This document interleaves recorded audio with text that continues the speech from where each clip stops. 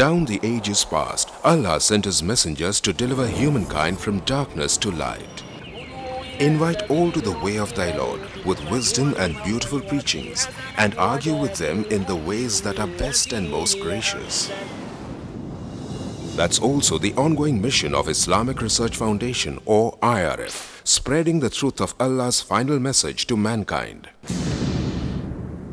Founded in 1991, IRF today offers some of the best services and facilities in the world for presenting an understanding of Islam in an objective and scientific way. Its programs are primarily focused on correcting misconceptions and promoting understanding of Islam. IRF also imparts dawah training to dais to aptly convey the message of Islam. IRF has one of the most modern studios producing programs presenting Islam, which are beamed regularly on many international TV channels in over 150 countries. Dr. Zakir Naik, president of IRF, reaching out across countries worldwide, from America to Europe to Africa to Asia to Australia, strives to clarify Islamic viewpoints. He dispels the many media myths and anti-Islamic prejudices propagated the world over by anti-Islamic forces. Dr. Zakir Naik is a medical doctor. He is acclaimed the world over for his spontaneous and convincing replies to questions posed by critics and skeptics during the question and answer sessions after his talks. He is also renowned for his verbatim quotes with references from major religious scriptures of the world.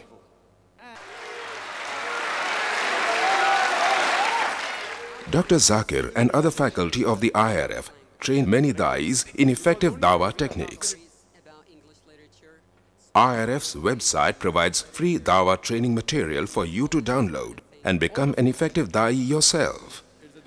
Dr. Zakir Naik's talks are available on audio and video, cassettes, CDs and DVDs the world over.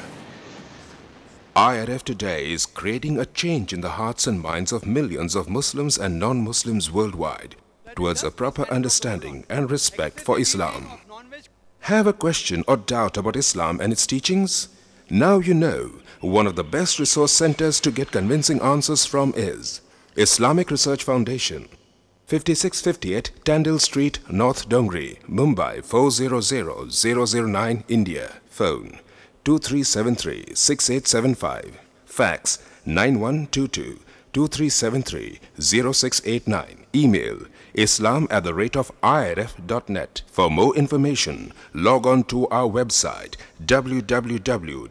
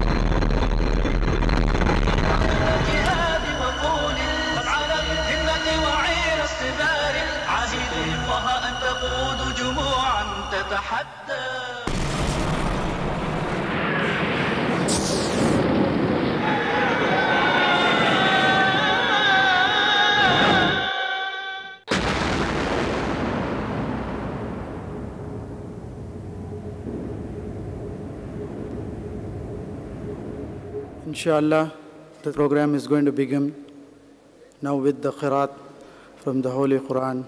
A few verses will be read by Brother Fahim. أعوذ بالله من الشيطان الرجيم بسم الله الرحمن الرحيم من أجل ذلك كتبنا على بني إسرائيل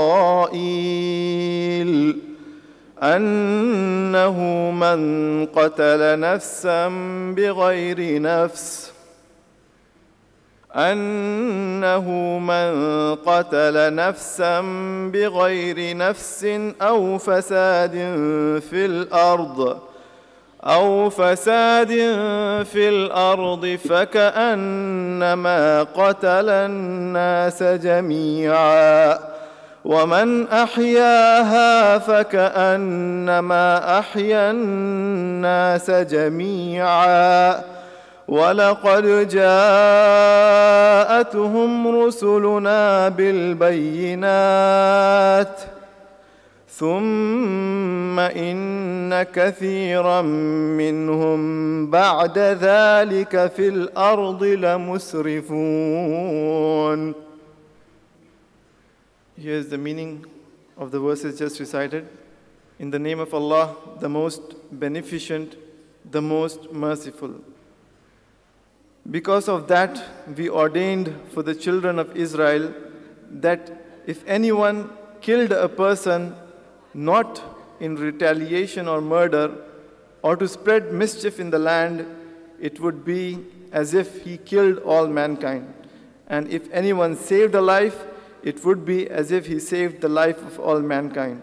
And indeed, they came to them, our messengers, with clear proofs, evidences, and signs.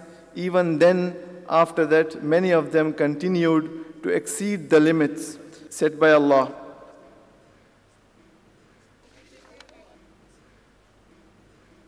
الحمد لله الحمد لله رب العالمين والصلاة والسلام على رسول الله وعلى آله وأصحابه أجمعين أما بعد أعوذ بالله من الشيطان الرجيم بسم الله الرحمن الرحيم رب اشرح لي صدري ويسر لي أمري واحلل عقدة من لساني يفقهوا قولي Respected chief guests, august audience, I welcome all of you with the Islamic greeting, Assalamu alaikum wa rahmatullahi wa barakatuhu. May peace, mercy, and blessings of Allah subhanahu wa ta'ala be on all of us.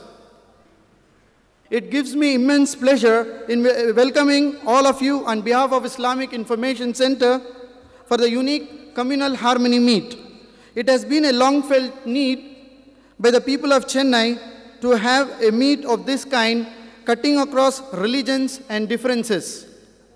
I'm sure, inshallah, by the will of Almighty, that this meet would enable to understand similarities between us, which would promote communal harmony.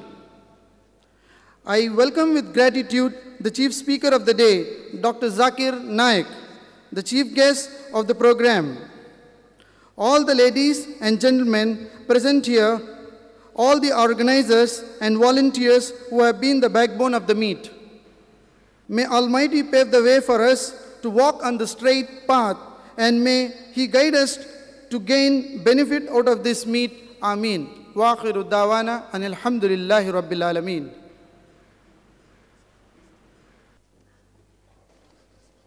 respected dignitaries or the dais, of the dais,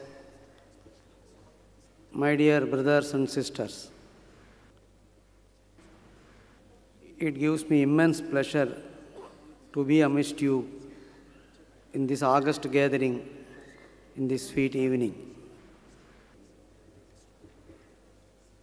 It, I feel this as a golden opportunity to express my views on terrorism in the present day world scenario. Evolution is nature's way of showing concern for the survival of all living beings. If we observe carefully, we can see that the nature loves everything it has created. It has given color and shape to even the smallest of its creatures. We cannot, but we have potentialities of being creative when we are born from so great a creator. If we are not happy now, we will never be. We can no longer lose in life. once we have gained the ability to see the greatness in God. In war, we do not eat whom we kill, lest it should be considered barbarous. It is better to be harmless than helpful. When God has given us sight to see His greatness, surely He must have also given us a mind to understand it. Sight helps us to realize the existence of God, but only the mind can help us to find Him. Deep down below the jumble of our minds, there is something which knows and which can reveal much knowledge and wisdom. We are in big society, following different paths of life and connected with different religions. When we accept society, we commit ourselves to a ridiculous way of life. The greatest achievement of all is conquest of self. For every human being, that should be the goal, and that is the only great achievement. Strange that our basic instincts should be the same as those of other living creatures. Can the thoughts and philosophy of a person go beyond his pursuits? My dear brothers, to love the Creator, we must first love His creation. Man, in his glamour and glory, forgets the glamour and glory of God. One thing unique about wisdom it cannot be inherited, but must be acquired. Man's success should not be judged by the wealth of his possession, what he has, but to the extent whether he is at peace with himself. The success of our achievement depends on the intensity of our desire. Wisdom lies in its choice. As far as the soul within us, in everybody we have soul. The energy which understands and speaks, and whichever her vice and virtue are understood, it is the soul. So, as far as the soul is concerned, it understands only the language of feeling. Each unfortunate event in life should be considered as a lesson for the development of our minds. Our attitudes govern our destiny. Therefore, the happiness that we enjoyed in childhood was due to our state of mind, not due to any external factor. We must realize that we have become victims of our own values. In everybody among us, one of the chief vices which could destroy the intellect is the vice of anger. Therefore, a person desirous of remaining a true human being must conquer anger in all possible ways. Anger is an acid that does more harm to the vessel in which it is stored than to the person on whom it is poured. The whole nervous system in our body is shattered by an outburst of anger, and various poisons are thrown into the blood when one is angry. That's why it is absolutely necessary for a person to conquer anger. From anger, delusion arises, and from delusion, bewilderment of memory. When memory is bewildered, intelligence is lost. And when intelligence is lost, one falls down again into the material fall, material pool. Hence, anger has to be controlled. The best tool to conquer anger is forgiveness.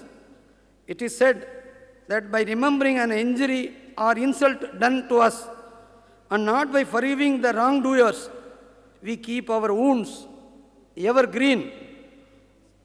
Hence, the best remedy in the interest of our own spiritual, mental, and physical health is to forgive the wrongdoers. There are only two things which concern us mind and matter. Our conscience is the best guru. Only our feelings can bring about self realization. We should be guided by our feelings, not by our thoughts. The richness of life comes with feelings that which cannot be seen, it can be felt. The greatest pilgrimage is the journey of ours is inward. By looking inward, we can travel to any part of the universe. The inward journey begins from the time we start to observe our mind, body, and behavior. Love is the common language of all our creatures. Only our ignorance prevents us from experience. Experiencing the love, it is love which permeates the atmosphere, world, and universe. We cannot experience love without a feeling of oneness. We should try to convert our adversities into opportunities. We have the intelligence to make weapons, but not the wisdom to refrain from using them. Some nations for which people have fought and died no longer exist. Only those who identify with you are close. All others are strangers, even though they may be related. The younger generation are merely repeating our mistakes.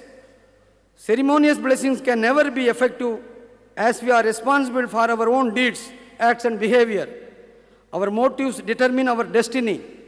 Our selfish motives eventually lead us to misery and destruction, whereas our unselfish motives eventually lead us to bliss and immortality.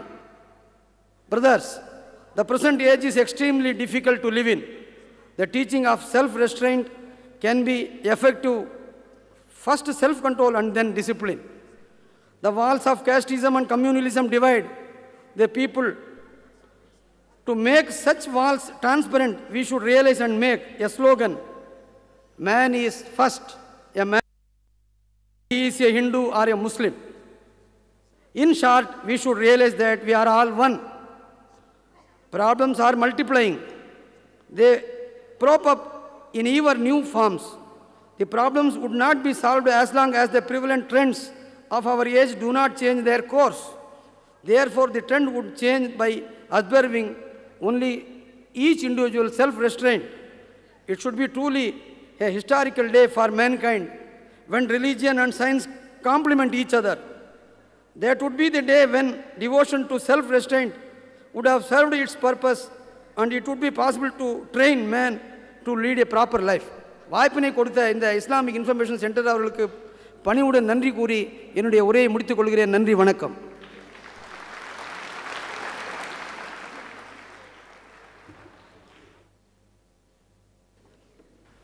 In the name of Allah, the kindest and the most merciful one, the dignitaries seated in the dais, the dignitaries seated in the audience, ladies and gentlemen, at the outset, I should uh, thank Madam Fatima Muzaffar, Janab Muzaffar Ahmed, my brother Janab Hakim, for giving me this opportunity to address the elite audience. I am, feel very humbled in front of uh, great scholars like Richard Haynes, Chordia, and uh, the erudite scholar Dr. Zakir Naik, from whom you are going to listen about the terrorism and jihad. Terrorism is an aberration in the human behavior. Terrorist, whether it is Hindu fundamentalist, or it is Christian terrorist, or it is Muslim terrorist, they have abnormal brain. They have delusion and illusion. And the, the way in which the terrorism has to be tackled is these people have to be counseled by the fellow human beings. And the administrators have to find out what exactly is the root of root cause of the terrorism and see that the root cause is completely eliminated. The terrorists are in the pawn, but what exactly is the cause is the one which has to be found out. And they are also fellow human beings. The jihad, what is jihad? Is a struggle. You struggle to earn more and give charity. You struggle more and more to help the fellow human beings, to feed the poor, to look after the downtrodden, to heal the sick and the suffering. The struggle is not to take away life, the struggle is to, to help life to thrive well in a happy mood. I am a practicing physician and a consultant nephrologist for over four decades. 40 years in this profession, fighting illness with hope and optimism has only reinforced one important fact of life that life is very precious. Every life is a precious gift to be respected and treated with care. Today, life exists even after death. A dead man can save 11 lives with his two kidneys, two eyes, two lungs, one heart, one liver, one pancreas, provided the organs are harvested in time. Of course, the soul is indestructible, that there is always a chance that when a person dies, he goes home. He doesn't die. He lives, he goes and lives in his home. Living is possible only if we learn to live in harmony, learning to care for our fellow human being, expressing our respect and kindness. It is in each human being that the unmanifest God manifests himself. The godliness in man is manifested in his unselfish ability to give. Give food for the hungry, give books to the poor for education, give medicine for the sick, give love to the needy and neglected young or old ones. Give a smile of hope to the depressed and deprived. Love is the law of life. Where there is love, there is a touch of divine. Where there is hatred, there is a devil in that particular individual. He has to be counseled. And isn't that what religion is all about? To be good and too good. The secret of religion lies not in theories but in practice. The basic aim of religion is to bring peace to man. Mahatma Gandhi regarded non-violence as his religion. Today it is very, very important that we follow the principles of the father of the nation. Everyone must be happy here and now. The book from which to learn religion is our own mind and heart. We have to remember it is feeling that is life, strength and vitality. You must have muscles of iron, nerves of steel. Feel like Christ, you will be Christ. Feel like Buddha, and you will be Buddha. Religion is the manifestation of the natural strength that is in man. Man's strength or his tolerance, love, unselfishness, generosity, truthfulness, and combined with faith. Differences create gaps, and we need to reap love, not hatred, out of diversity. And to do so, we need to release the long forgotten value of tolerance. To recapitulate Mahatma Gandhi, quote, if you take away one eye for eye, the whole world will become blind. Also, he said, if only Christians are true Christians and follow the principles of Christianity, there will not be one Hindu in India. So, the basic principles of human life is more important than the religion and other unimportant matters. So, let us teach ourselves to sow, love where there is hatred, to pardon where there is injury. Our brother said, forgive. I think there is the great ideals of humanism is forgiveness. To spread faith where there is doubt, give hope where there is despair, and to love to be loved so that our country wakes into that heaven of freedom where the world has not been broken into fragments by narrow dimension walls fulfilling Tagore's dream. I would like to end by saying that if man is not able to respect the manifested God in human being, what is the use of thinking about the unmanifested God? I think we have to respect God, man. We have to see that we give love, we are pure, we are truthful, we have uh, the charitable attitude, and we save people rather than taking lives. With this, I end. I thank you very much for your patient listening. Thank you.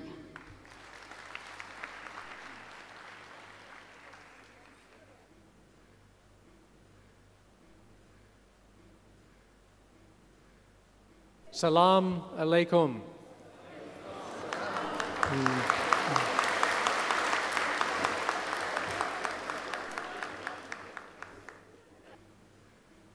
Freedom of religion is a central value in the U.S.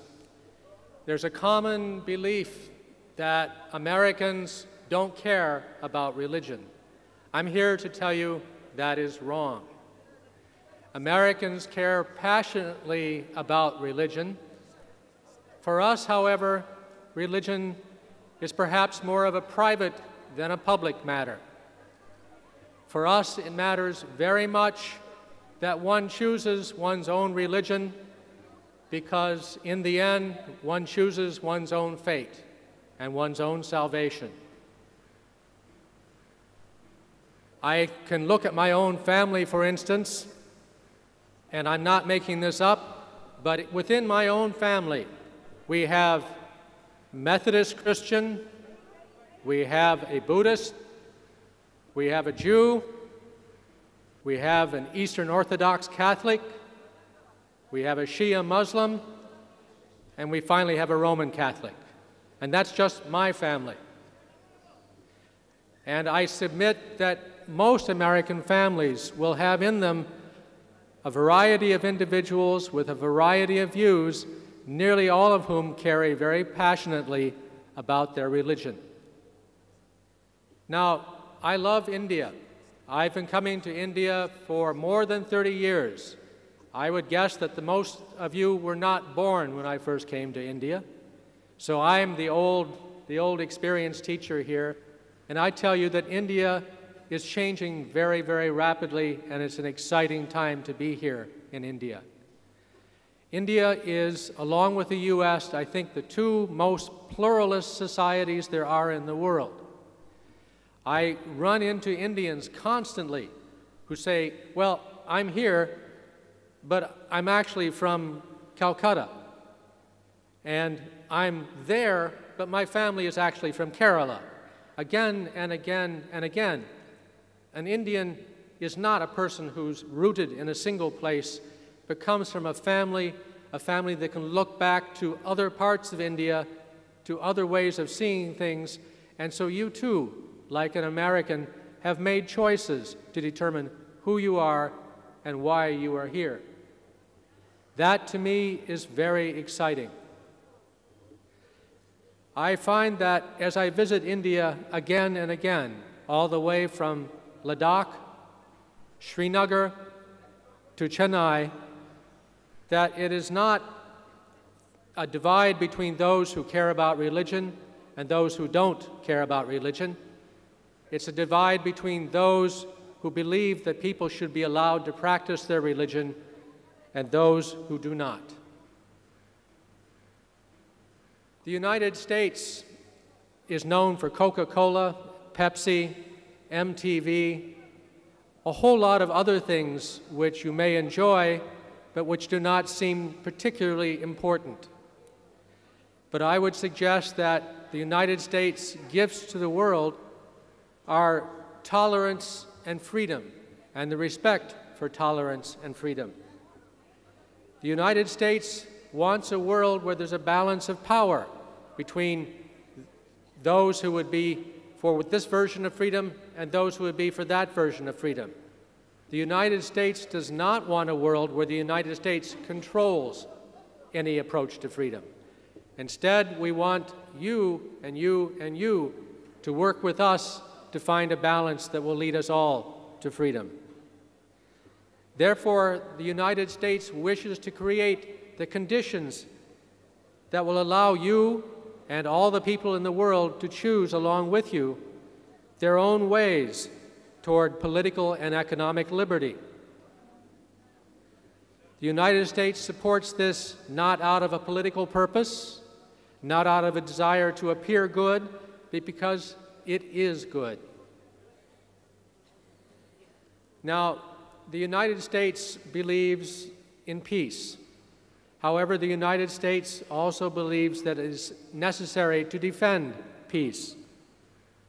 Especially, we wish to achieve our goals of freedom and tolerance by defending peace against those who advocate global terror. We will use every tool at our disposal to prevent and contain and respond to terrorist attacks. However, when I say every tool, I do not mean bombs, planes, guns, knives. I mean things like good education. I mean things like clean water, sanitation, health. I mean things like plain old auditing of financial accounts.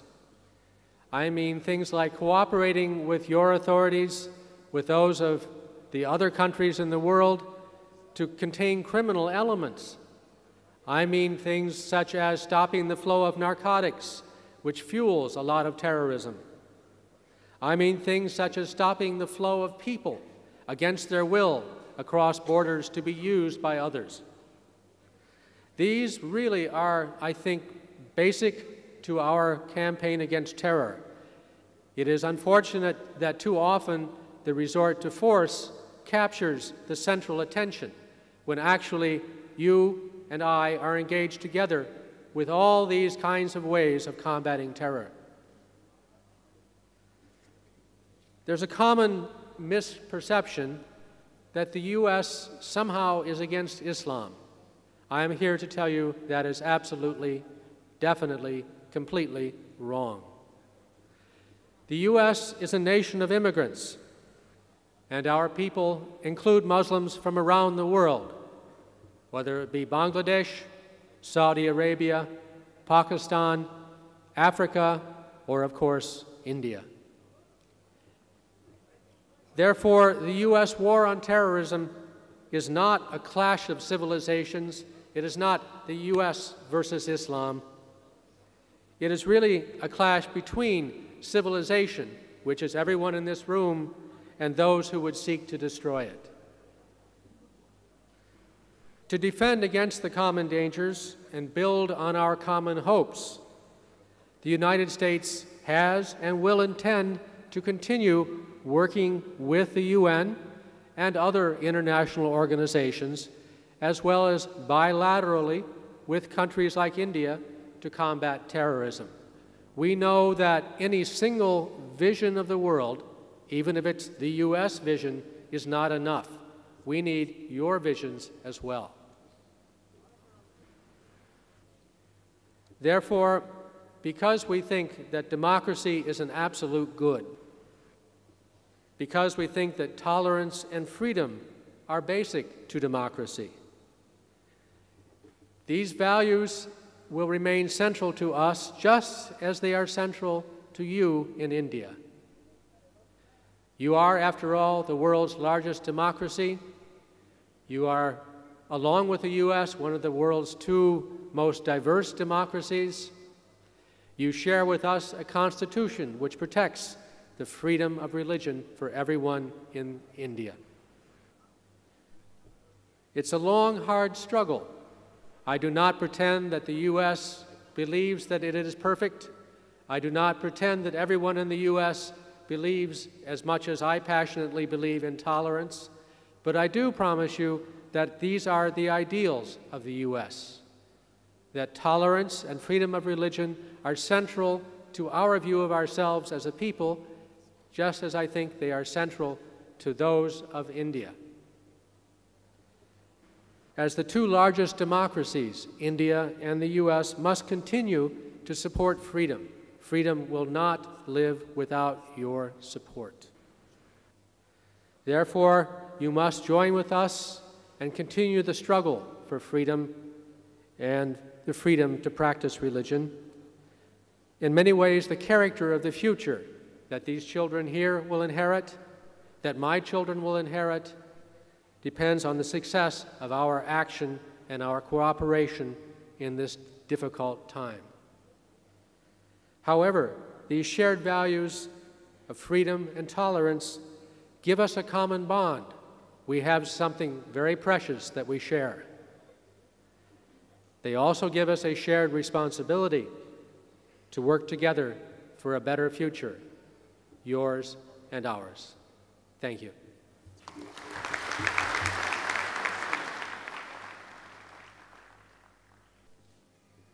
Assalamu alaikum.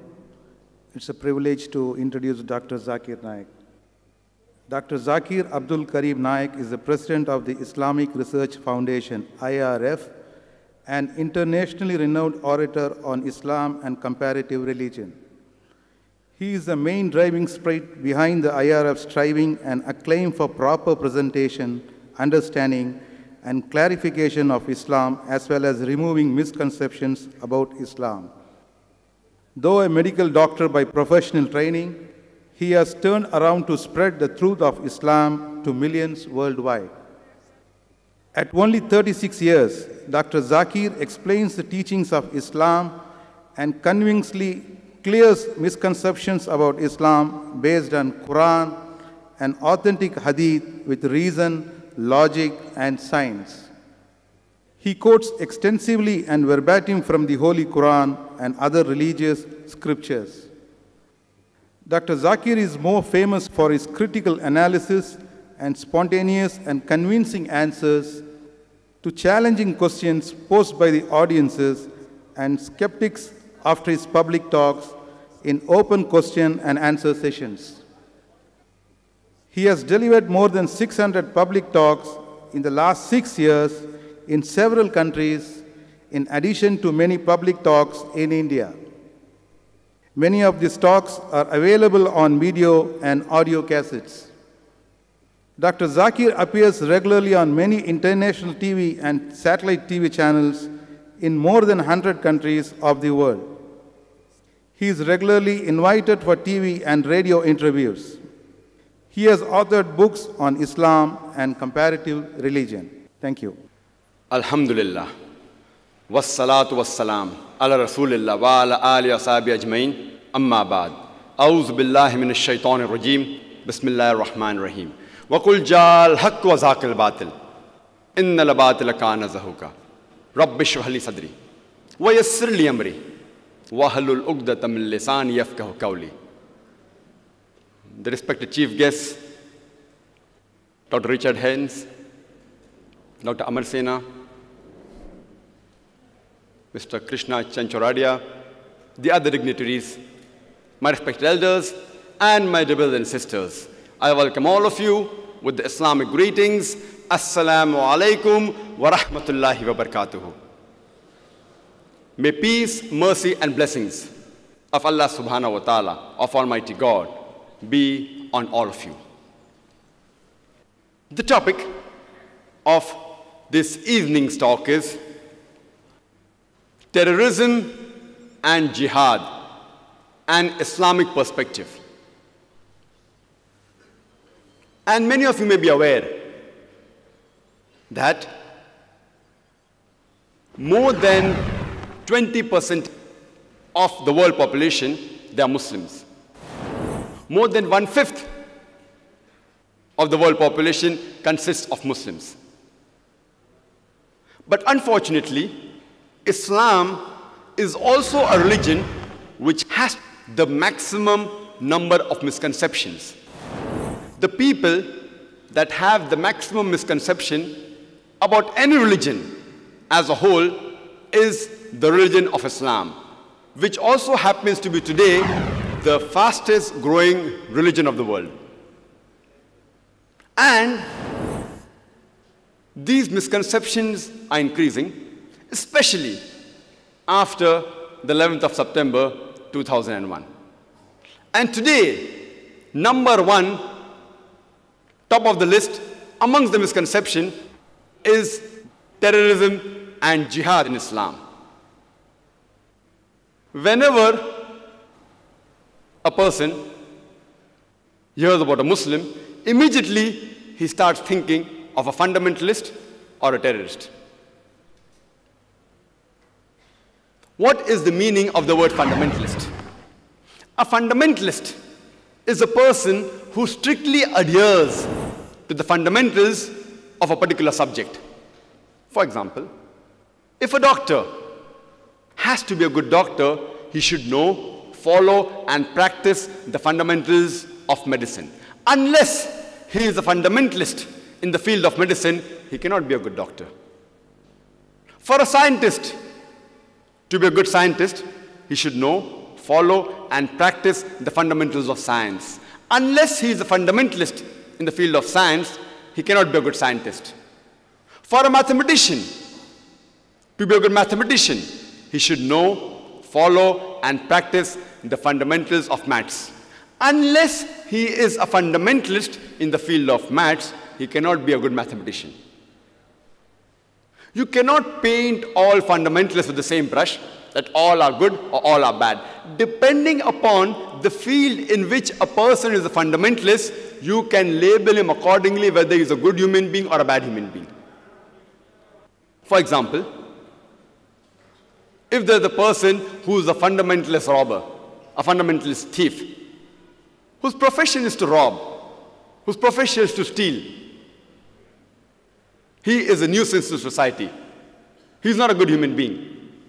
On the other hand, if you have a fundamentalist doctor whose profession is to save human lives, then he's a boon for society. He's a good human being. You can't paint all fundamentalists with the same brush that all are good or all are bad.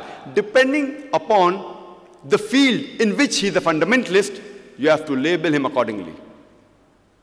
I am proud to be a Muslim fundamentalist because I know, I follow, and I strive to practice the fundamentals of Islam. And I know that there is not a single fundamental of Islam which is against humanity as a whole. And I challenge any human being in the world to point out a single fundamental of Islam from the authentic sources of Islam which is against humanity as a whole. There may be certain people who may find that certain teachings of Islam, certain teachings of Quran, they are against humanity. But the moment you give the logical reason for it, the statistical record of the world, there will not be a single human being who can point a single fundamental of Islam which is against humanity as a whole. That's the reason I say I'm proud to be a fundamentalist Muslim. And I say in the same breath that for a Hindu to be a good Hindu, he should be a fundamentalist in the field of Hinduism. Unless he's a fundamentalist Hindu, he cannot be a good Hindu. For a Christian to be a good Christian, he should be a fundamentalist in the field of Christianity. Unless he is a fundamentalist Christian, he cannot be a good Christian. If you read the Webster's dictionary, it tells us that the word fundamentalism was first coined, was first used to describe a group of American Christians who were called as Protestant Christians in the earlier part of the 20th century when they objected to the church. Previously, the Christian church, they believe the message of the Bible was from Almighty God. These Protestant Christians, they protested and they said that not only is the message of the Bible from God, but every word, every letter of the Bible is from God. If any human being can prove that Bible is the word of God, then this movement of fundamentalism is a good movement. On the other hand, if someone proves that Bible is not the word of God, then this movement is not a good movement. If you read the Oxford Dictionary, the Oxford Dictionary says that fundamentalist is a person who strictly adheres to the ancient doctrine of any religion. But if you refer to the new edition, the revised edition of Oxford Dictionary, there's a slight change in the definition. It says that fundamentalist is a person who strictly adheres to any ancient doctrine of any religion, especially Islam. The word especially Islam has been added in the revised edition of Oxford Dictionary. The moment you hear the word fundamentalist, you start thinking of a Muslim. That is a terrorist. And many times, two different labels are given for the same activity of the same individual. For example, more than 60 years back, when we were ruled by the Britishers when they were controlling India, there were certain Indians who were fighting for their freedom. These group of Indian by the British government, they were labeled as terrorists. But those same people, by the common Indians, we call them as patriots, as freedom fighters. Same individual, same activity, two different label. One group is calling them a terrorist, the other group is calling them freedom fighters, patriots. Same individual, same activity, two different labels. Therefore, before you give a label, you have to try and find out what is the reason that the person is giving the label.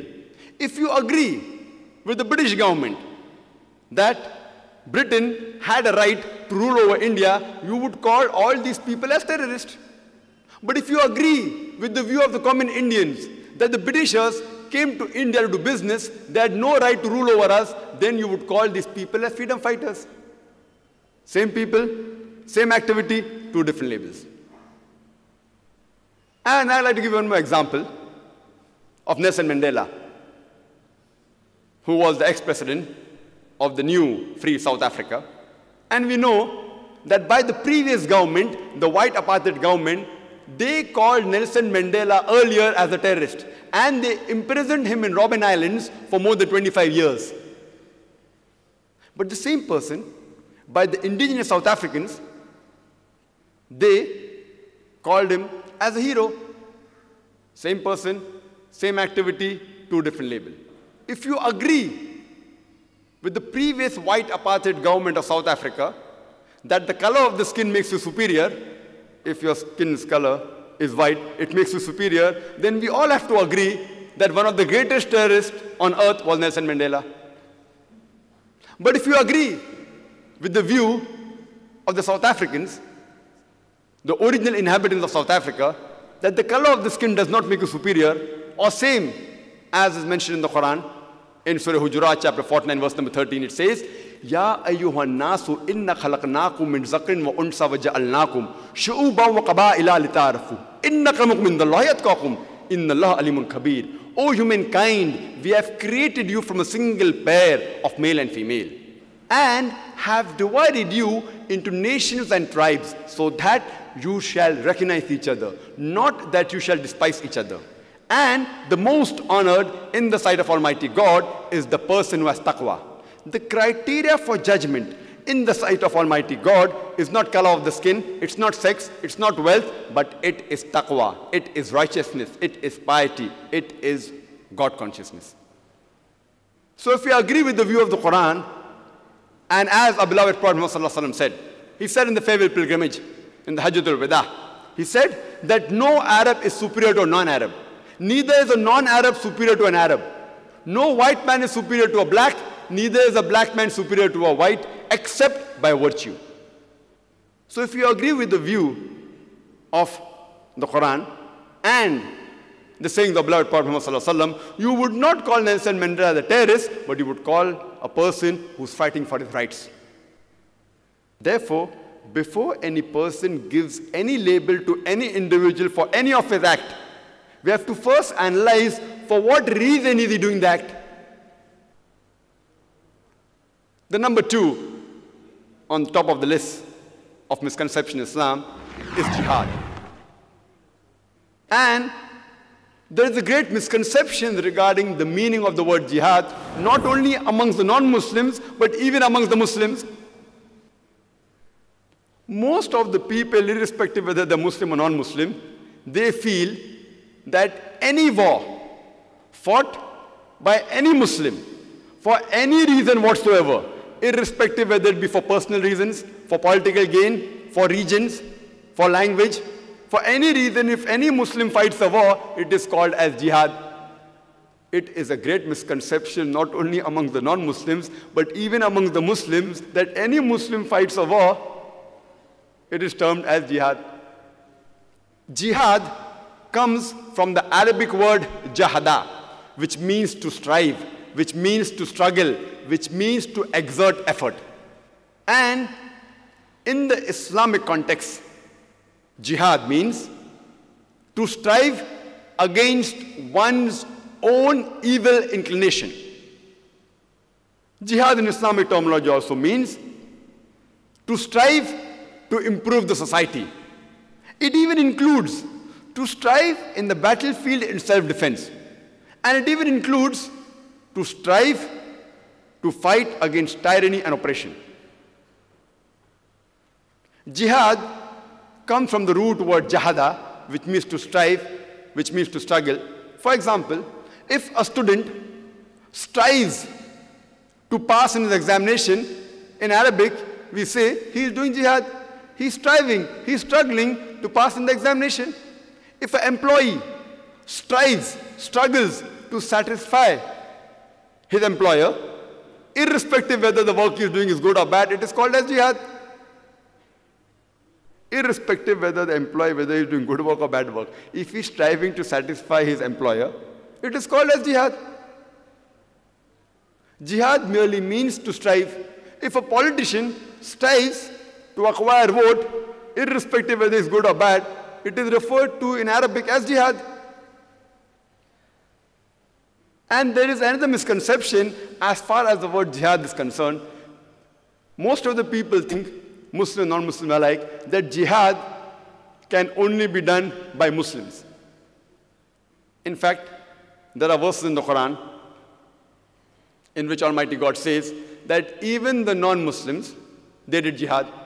The Quran says in Surah Luqman, chapter number 31, verse number 14, that we have enjoined on the human beings to be kind to the parents. In travail upon travail did the mother bore them, and in years twain was their weaning. The next verse, Surah Luqman, chapter 31, verse number 15 says that, but if they strive, but if your parents strive to force you to worship someone else besides me, besides Almighty God, of which you have no knowledge, then do not obey them. Here the Quran says that if your parents strive, they struggle, they do jihad to make you worship somebody else besides Almighty God, do not obey them. So here the Quran says that the non-Muslim do jihad. The same message repeated in Surah Ankabut, chapter number 29, verse number 8, that we have enjoined on the human being to be kind to the parents. But if they strive, if they do jihad and force you to worship anyone besides me, besides Almighty God, of which you have no knowledge, then do not obey them, but live with them in compassion and love. So here we come to know from the Quran that even the non-Muslim did jihad. Further mentioned in the Quran, in Surah Nisa, chapter number 4, verse number 76, that the believers, they fight in the way of Allah subhanahu wa ta'ala. And the unbelievers, they fight in the way of the Satan. So strive against the brothers of the Satan. Here again, it speaks that the evil people, even they do jihad. So jihad is an Arabic word which merely means to strive, to struggle. In context, called as jihad fi sabilillah. And the evil people, they strive in the way of the Satan. It is called as jihad fi sabi shaitan. So jihad is of two types, good jihad and bad jihad also. Striving for the good cause, striving for an evil cause. But in the Islamic context, if it is not specified, it is taken for granted that the jihad is for a good cause, it is jihad fi sabilillah, it is jihad in the way of Allah subhanahu wa ta'ala. Unless specified, it's taken for granted that whenever jihad is mentioned, it means jihad fi sabilillah, jihad in the way of Allah subhanahu wa ta'ala. There is another misconception that most of the people, whether Muslim or non-Muslims, they think that jihad means holy war. In fact, if you read the Quran, nowhere is the word holy war used anywhere in the Quran. Nowhere will you find holy war mentioned in any of the authentic hadith of the Prophet, sayings of the Prophet Muhammad. The Arabic translation for the English word holy war is Harbum Muqaddasa, which means a holy war. This word is nowhere mentioned in the Quran, nowhere it is mentioned in any of the authentic hadith of the Prophet. This word, holy war, was initially coined by the Orientalists when they started writing books on Islam. And unfortunately, many of the Muslim scholars, even they translate jihad as holy war. It's unfortunate. If someone makes a mistake regarding the religion of Islam, unfortunately, many of the Muslim scholars, even they use this English translation thinking that the most appropriate translation for the Arabic word jihad is holy war, which is totally wrong. The word which is used in the Quran, it is fighting, it is qital. It means to kill. And again, fighting is of two types. Killing can be of two types, for good purpose and bad purpose. As Allah says in the Quran, in Surah Nisa, chapter number 4, verse number 76, that the believers, they fight in the way of Allah subhanahu wa ta'ala. They fight in the way of Allah subhanahu wa ta'ala. And the unbelievers, they fight in the way of the Satan. So the believers, let them fight against the brothers of the Satan. That means the evil people, they fight in the way of the devil, and the good people, they fight in the way of Almighty God. So jihad does not mean holy war. And qital merely means to fight. Qital fi sabilillah means fighting in the way of Allah subhanahu wa ta'ala and qital fi sabi shaitan means fighting in the way of the Satan. This word jihad occurs in the glorious Quran several times, on several occasions. It's even used by beloved Prophet Muhammad Muhammad may peace be upon him, in several authentic hadith. If you read the Quran, it says in the Quran in Surah Hajj, chapter number 22, verse number 78, it says, that strive in the way of Allah subhanahu wa ta'ala as you ought to strive with sincerity and discipline. Strive in the way of Allah subhanahu wa ta'ala as you ought to strive. Further mentioned the glorious Quran. In Surah Tawbah, chapter number 9, verse number 20. That as for those believers who suffer exile and who strive with might and main in the way of Allah subhanahu wa ta'ala with their body and wealth and possession. These are the people who shall attain the highest rank in the hereafter. They shall attain the salvation. That means it says that all those people, the believers who suffer exile, and if they struggle, if they do jihad, if they strive in the way of Almighty God, doing good things, with all the possession, with the body, with the wealth, with the time, these are the people who shall achieve the highest rank in the hereafter and they shall go to heaven. It's mentioned in the hadith of our beloved Prophet Muhammad in Sahih Bukhari, volume number 4, hadith number 46. Our beloved Prophet Muhammad said that a mujahid, a person who strives in Allah's way, and Allah alone knows who really strive in his way with the true intentions, is like a person who continuously fasts and prays. And if a person who's a mujahid, who strives in Allah's way, if he's killed, he shall go to paradise. And if he returns back, he will come back with a great reward as well as booty of the war. The word jihad is referred to in the Quran in several places. Allah subhanahu wa ta'ala says in the Quran, in Surah Ankabut, chapter number 29, verse number 6, it says that strive in the way of Allah subhanahu wa ta'ala as you ought to strive. But Allah subhanahu wa ta'ala is free of all wants. It says that if you strive in the way of Allah subhanahu wa ta'ala, you are doing for your own selves. For Allah subhanahu wa ta'ala, the creator, is free of all wants. It indicates that if you are struggling in the way of Almighty God, it is for your own benefit. It is not for the benefit of Almighty God, because Almighty God is not dependent on any of His creations. He is independent. He does not require anyone's help. If you are struggling in His way, it is for your own benefit. And Allah says in the Quran, in Surah Tawbah, chapter number 9, verse number 24, Kul in kana abaukum. Say whether it be for your fathers, wa abnaukum, or your sons, wa ikhwanukum, or your brothers, wa azwajukum, or your spouses, your wives, or husbands, wa ashiratukum, or your relatives, wa amwalun ikhtaraftumuha, wa tijaratun takshawna qasadaha, wa masakinu tarzawnaha, the wealth you have amassed, the business in which you deal, the house in which you live, Allah is saying, what are your considerations? Are they your fathers, your sons, your brothers, your spouses, your relatives, the wealth you have amassed, the business in which you deal, the house in which you live? What are your considerations? And Allah continues, Ahabba ilaykum min Allahi wa rasulihi wa jihadin fi sabilihi. If you love all these eight things more than Allah, His messenger, and doing jihad in the way of Allah subhanahu wa ta'ala. Again the word jihad is used.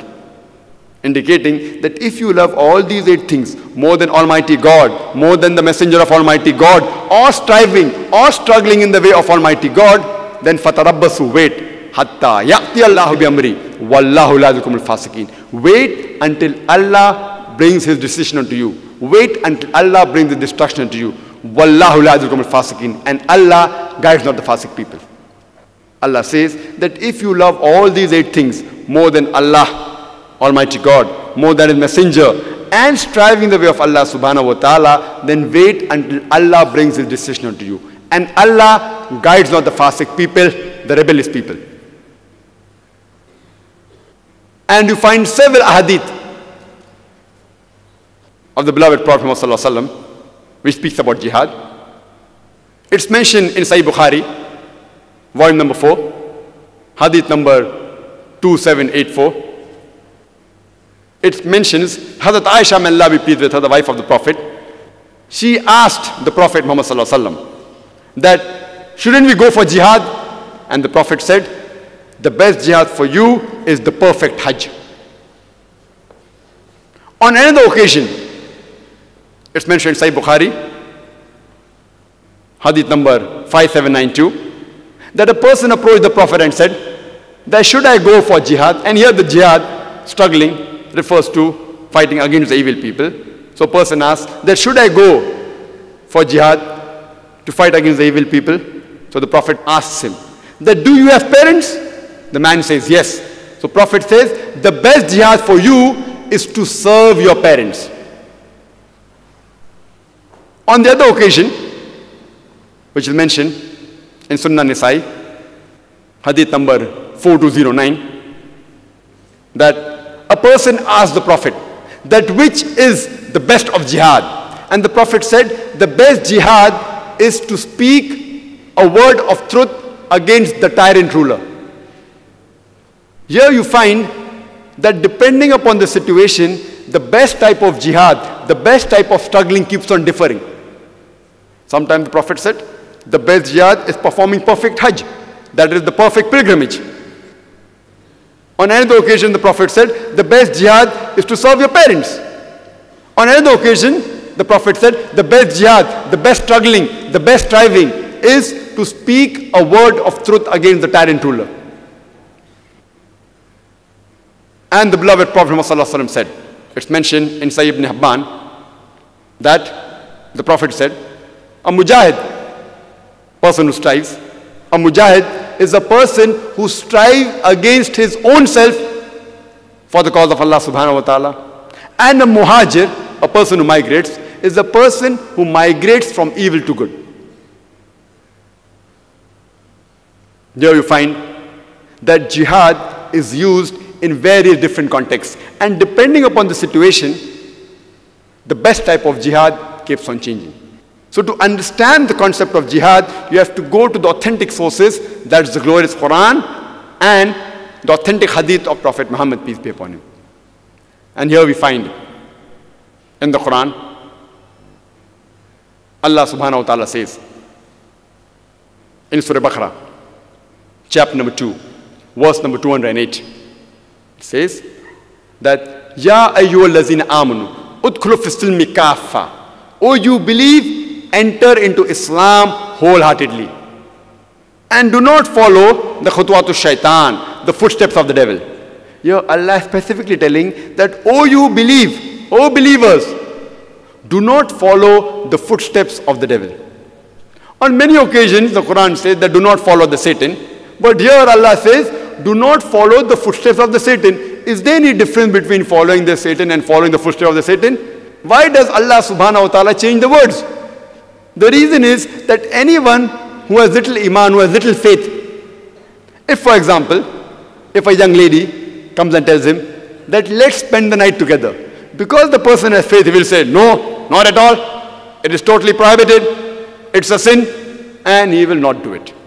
But to the same person who has little faith, if a phone call of a young lady comes, he may say, there is no harm in speaking to a young lady. So he speaks for a couple of times on the phone. Later on, the lady may call that let's have tea together outside, and after a few days, he goes to have tea. Then he may go to a joint like McDonald's, and they go to McDonald's. After a few days, they may go to a restaurant to have dinner, and after a few days, they may spend the night together in a hotel. This is khutwatu shaitan, the footsteps of the devil. That the difference between the devil and the footsteps of the devil. If the devil himself comes in front of a person who has faith, he will immediately recognize the devil and will abstain from him. But if the footsteps of the devil come, this is attraction. Only speaking to a young lady, what's the problem? Only having teeth, what's the problem? No problem. Only having a burger in McDonald's, no problem. Only having dinner, no problem. Only sleeping one night, no problem. So Allah says in the Quran, He gives us guidance. Oh, you believe? Enter into Islam wholeheartedly. Ya ayyuhal lazina amanu. Udkhulu fi kafa. And do not follow the khutwatu shaitan, the footsteps of the devil, for he is to you an avowed enemy. And one of the best ways, the best type of jihad, the best type of struggling is to convey the message of truth to those who are not aware of it. One of the best type of jihad is dawah, conveying the message of truth of Islam, convey the message of truth to those who are not aware of it. And Allah says in the Quran, in Surah Al-Imran, chapter number 3, verse number 110, Kuntum khaira ummatin ukhrijat linnas. O ye Muslims, ye are the best of people evolved for mankind. Allah is giving us the honor and is calling the best of people. There is no honor without responsibility. Allah continues and gives us the responsibility ta'miruna bil ma'ruf wa tanhauna an munkar billah. Because you enjoin what is good and you forbid what is wrong and you believe in Allah.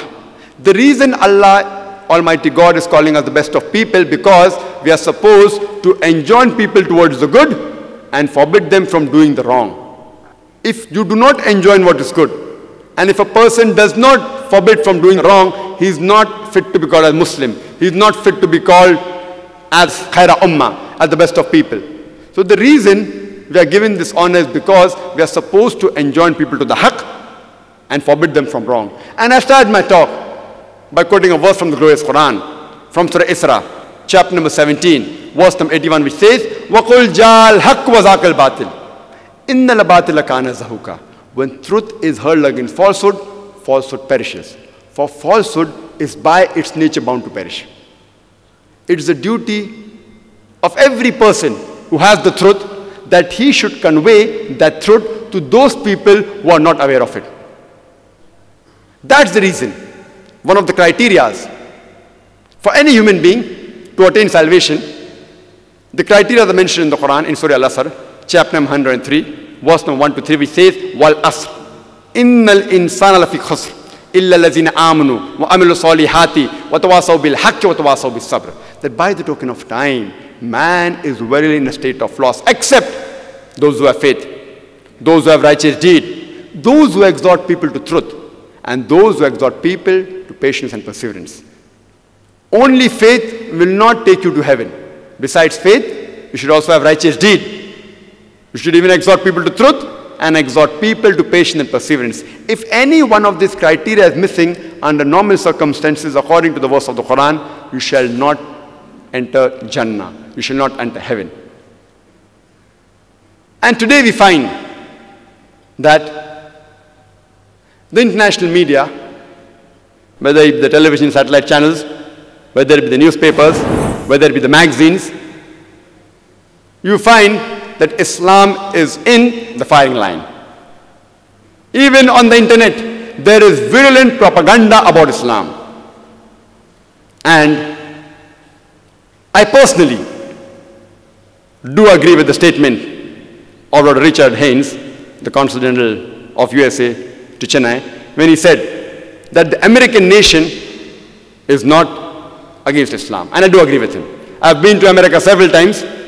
The American people as a whole, the American people as a whole, I do agree with him. The American people as a whole, they aren't against Islam. And same thing I tell my Indian brothers, that the Indian Hindus as a whole, they aren't against Islam. They aren't. We have got several Hindu friends. No problem. It is only a small group of Indians. For the personal gains, they may try to malign Islam. It may be a small group of Westerners. For the personal gain, they may try to malign Islam. For the personal reasons. Some people, because they want to come in power, it's an easy vote bank to create a tension between two communities. Some people, to divert the mistakes made by the head of state, he diverts the attention by creating another scenario, making Islam in the firing line.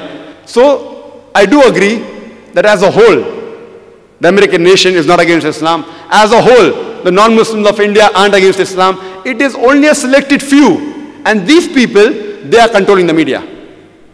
According to Time magazine, an article came on the 16th of April, 1979. It said that more than 60,000 books were written against Islam in a span of 150 years. More than 60,000 books written against Islam in a span of 150 years. And if you calculate, according to this article of Time magazine, more than one book is written against Islam every day. Every day. And the media, I blame the media and I blame the politicians. The problem that we have today in the world, according to me, the root cause is the media and the politicians. I'm sorry if I hurt anyone's feeling. I'm not targeting any particular people, but just, this is my opinion, that the media, if you analyze, I know there are many journalists out here. So, but as I mentioned in the morning, that the many journalists who are truthful and they really give a good view, it is, when I say majority, it means more than 50%. It doesn't mean all. It means more than 50%. And if we analyze that today, selectively, the Muslims are being targeted on the media. For example, if a Muslim woman wears a hijab, she's targeted.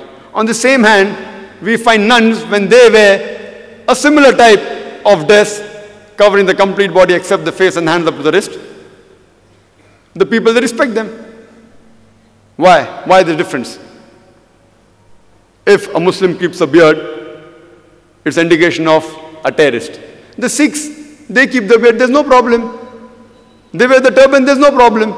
And when I went to Canada the first time in the 90s, there's an article that the Sikh, he fought for his right that he was a Canadian. He fought for his right that he will not remove his turban in the Canadian army and he won the case. Last month an article came that a Sikh, he objected in the court of law of Britain that he will not take out his turban in the college and, and they won the case. Here we find that a person who keeps a beard, people feel that, you know, I don't know what harm can a beard do. And that happened even in Madras. I came along with some of my colleagues and we came to the hotel yesterday. And my colleagues, you know, even they have a beard and they wear a cap. So there were some police who started following and started questioning. Just because of the beard and the cap. What harm can a beard do? It can't even harm a fly.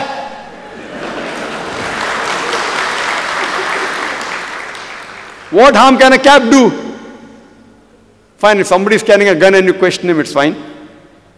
If somebody is carrying certain things you find suspicion, it's fine. Imagine a beard, it can't even harm a fly. And you analyze all the saintly people of most of the religion, had beard. Jesus Christ, peace be upon him, supposed to be the messenger of Islam and even considered as, by the Christians, inverted commas, as God. He had a beard. All the sons and sadhus, they have a beard. All the religious personalities, almost all, if not all, if you analyze in the religion, if you see on the higher level, they have beard. So what's the problem in a beard? There's no problem at all. So this is the hype of the media. It is the hype of the media, it is selectively targeting. So because of this, you find the scenario today that there is a misconception about Islam. And I blame the Muslims also, that we aren't actually conveying the message of truth to them. We aren't doing our job. And we find that certain verses of the Quran are quoted out of context. And one of the most famous verses of the Quran, in which the critics they try and say that, oh, Quran says wherever you find a non-Muslim, you kill him. And one of the famous critics of India, as you know, Arun Shourie, he wrote a book called The World of Fatwa. And he writes in his book and he quotes the Quran in Surah Tawbah, chapter number 9, verse number 5. He says, the Quran says, wherever you find a kafir, into brackets Hindu, into brackets Hindu, wherever you find a kafir, into bracket Hindu, you kill him. You wait for him in every stratagem of war. So imagine if a common Hindu, a innocent Hindu reads this, oh, Quran says that wherever you find a Hindu, kill him, then immediately there will be a reaction. He will start going against Islam. So the problem is that selected few people for their own ulterior motives, because of their writing, then he wrote the book The World of Fatwa, and he quotes the same verse which has been quoted by Orientalist, Surah Tawbah, chapter number 9, verse number 5, giving reference. After verse number 5, he jumps to verse number 7 directly. Any intelligent person will know why? Because verse number 6 has the key, the reply to his allegation. In context, if you read Surah Tawbah chapter number 9, the first few verses speaks about a peace treaty between the Muslims and the mushriks of Makkah. This peace treaty was unilaterally broken by the mushriks of Makkah. So by the time Almighty God reaches verse number 5, he says that in the battlefield, that wherever you find your enemy, kafir means unbeliever enemy, wherever you find the enemy, you kill him in the battlefield. If anyone quotes out of context, it will sound absurd. Imagine a few decades earlier, there was a war between USA and Vietnam. And if the Army General of USA or the President of USA tells the American soldiers in the battlefield that my soldiers, don't get scared. Wherever you find the Vietnamese, kill him. It is to boost up the morale. But today, if someone quotes that the President of America said that wherever you find a Vietnamese, kill him, you will make him sound like a butcher. It's out of context. And but naturally, any army general, to boost up the morale, he will give moral support to his soldiers. So similarly, when Almighty God says in the Quran to the believers that when the enemies come to kill you, don't get scared to kill them. So what's harm in it? And the next verse, verse number 6 says that if the unbelievers, if they seek asylum, it does not say let them go. It says if they seek asylum, if they seek peace, escort them to a place of security so that they may hear the word of Allah. The Quran does not say if the enemy wants peace, let them go. The Quran says escort them to a place of security. Today, the most generous army general, the maximum military soldier, that if the enemy wants peace, let them go. Which army general will say that escort them to a place of security? But this is what Quran says. If you read in context, you come to know the real message of the Quran. And you pick up any religious scripture.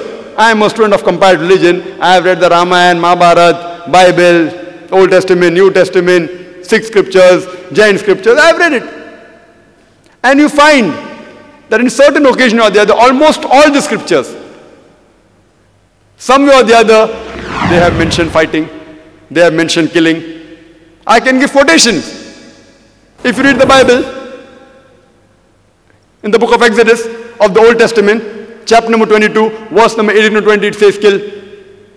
Exodus, chapter number 32 says kill. Numbers says kill.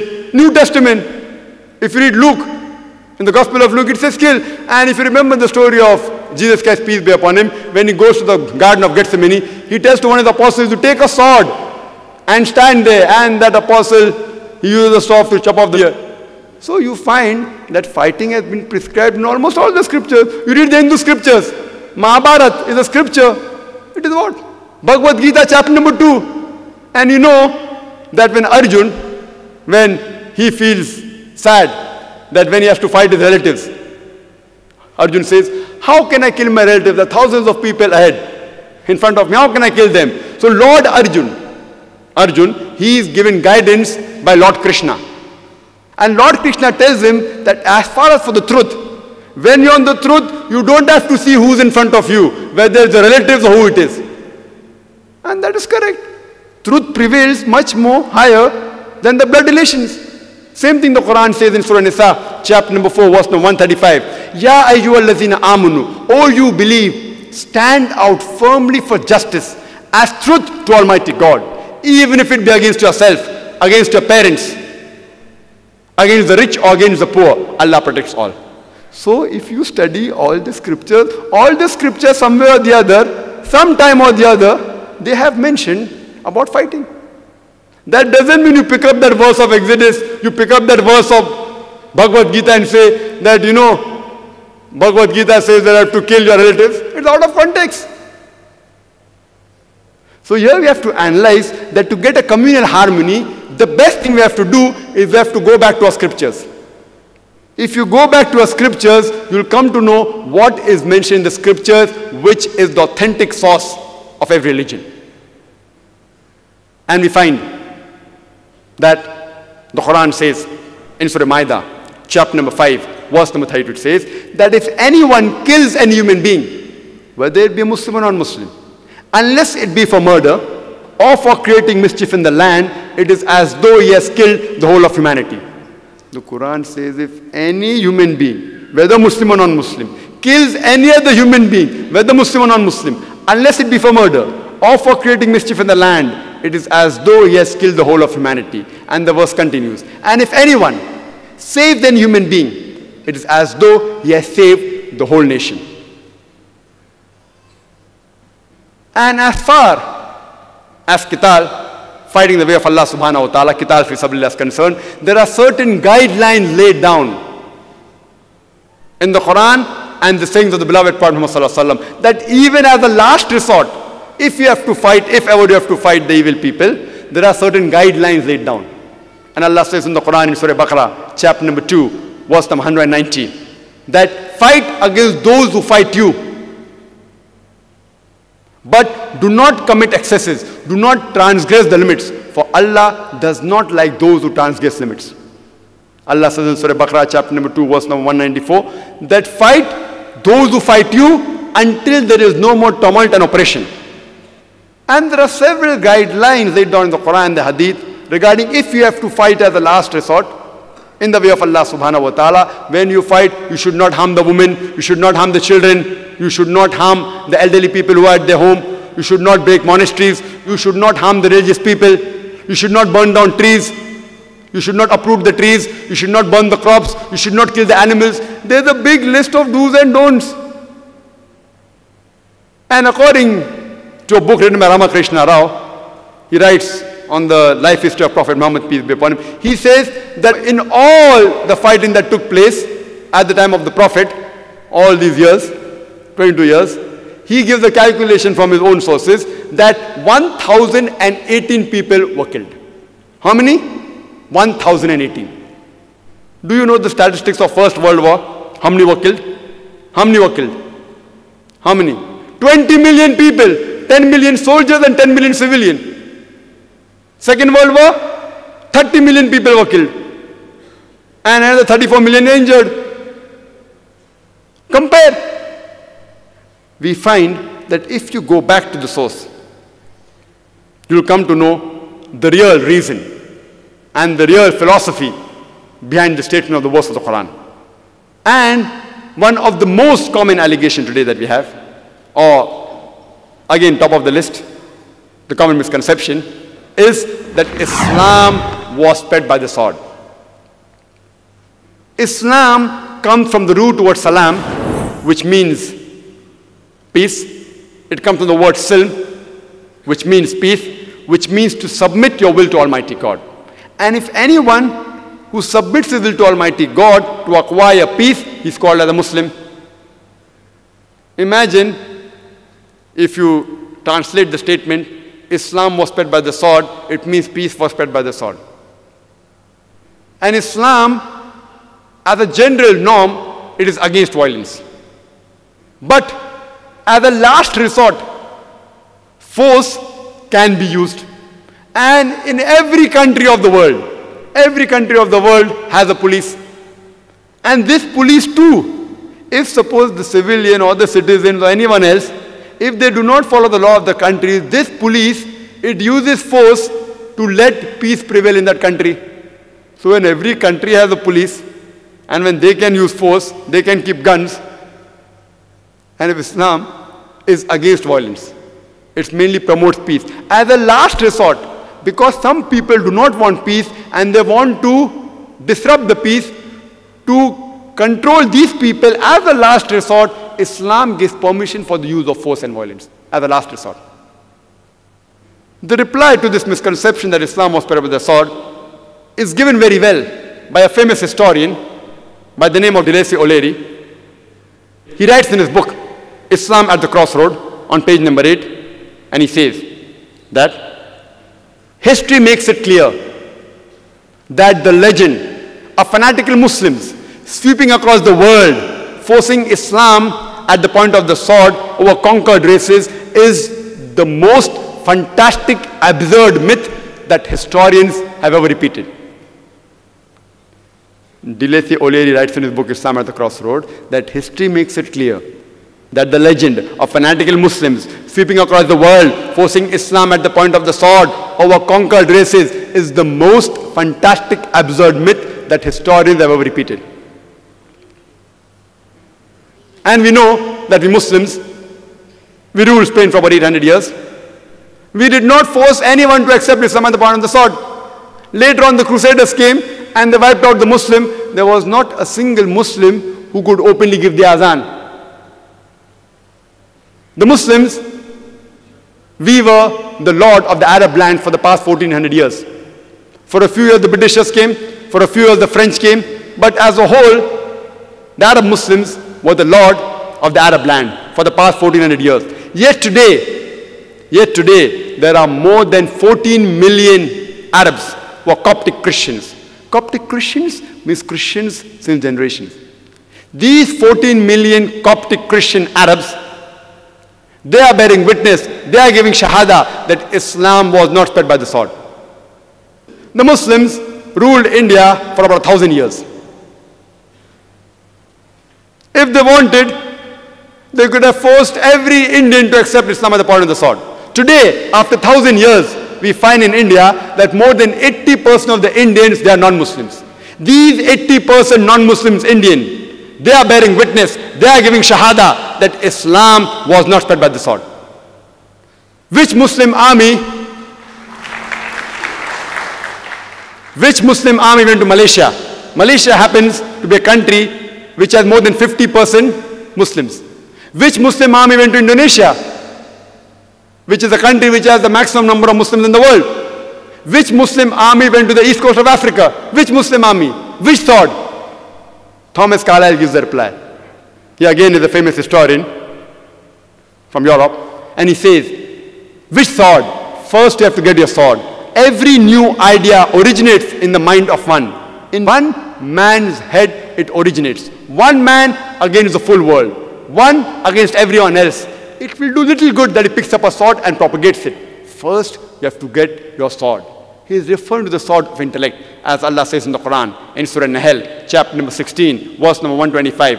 Udu ila sabili rabbika bil hikmah wal hasan. Invite all to the way of thy Lord with wisdom and beautiful preaching and argue with them and reason with them in the ways that are best and most gracious. We have statistics today. There's an article that came in the Plain Truth magazine, which was a reproduction of the Reader Almanac yearbook, 1986. It gave the statistics of the increase in the major world religion in a span of 50 years, between 1934 to 1984. And it said that number one religion to grow maximum was Islam, 235%. In a span of 50 years, Islam grew by 235%. Christianity, only 47%. I'm asking a question.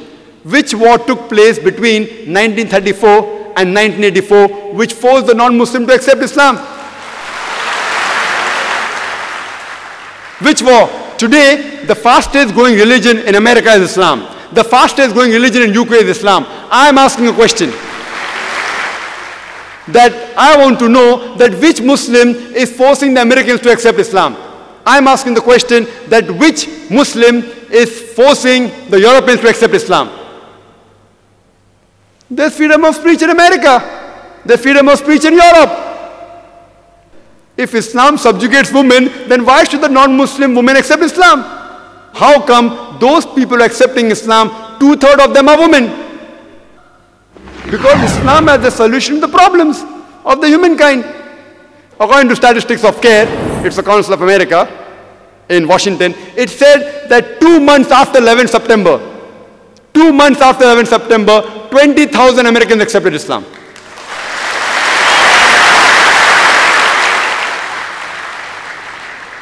And after the 11th September, I was there on the 9th of September, two days before I left. Otherwise, I too would have been. I was in UK. And after 11th September, in a span of just hardly five, six months, thrice I was called to UK only to give talks on terrorism. And it's good. The act is bad. Act is bad. What Salman Rushdie did what Salman Rushdie wrote against the Prophet was bad. But people wanted to know what did Salman Rushdie write and they read the Quran to find the truth and they accepted Islam. Today in America, these are statistics from the leading newspaper of America, even New York Times, that said the American wants to know that can I have a Bible of the Muslims? They don't even know that Quran is the holy book. They want to read the Bible of the Muslims. It's good.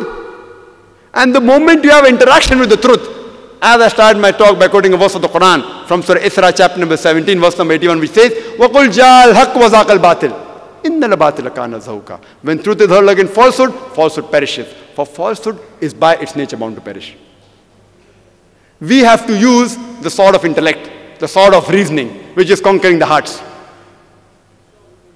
And Allah subhanahu wa ta'ala, Almighty God, He gives a promise in the Quran in no less than three different places in Surah Tawbah, chapter number 9, verse number 33. In Surah Saf, chapter number 61, verse number 9. As well as in Surah Fatah, chapter number 48, verse number 20, with a different ending, Allah says, هُوَ الَّذِي أَرْسَلَ رَسُولَهُ بِالْهُدَى وَالدِّينُ الْحَقِّ لِيُظْهِرَهُ عَلَى الدِّينِ كُلِّهِ وَلَوْ قَرِيَ الْمُشْرِكُونَ Allah has sent His messenger with guidance and the religion of truth so that it will prevail over all the other isms. And Islam is destined to supersede all the other isms. And Allah says, however much the unbelievers don't like it. And Allah gives a different ending in Surah Fatah, chapter 14, and verse 28, which says, وَقَفَى بِاللَّهِ شَهِدًا And enough is Allah as a witness. I would like to end my talk of this topic, terrorism and jihad and Islamic perspective, with a quotation and a statement of Dr. Adam Pearson, who said, People who worry that one day nuclear weaponry will fall in the hands of the Arabs, they fail to realize that the Islamic bomb has already been dropped. It fell the day Prophet Muhammad was born.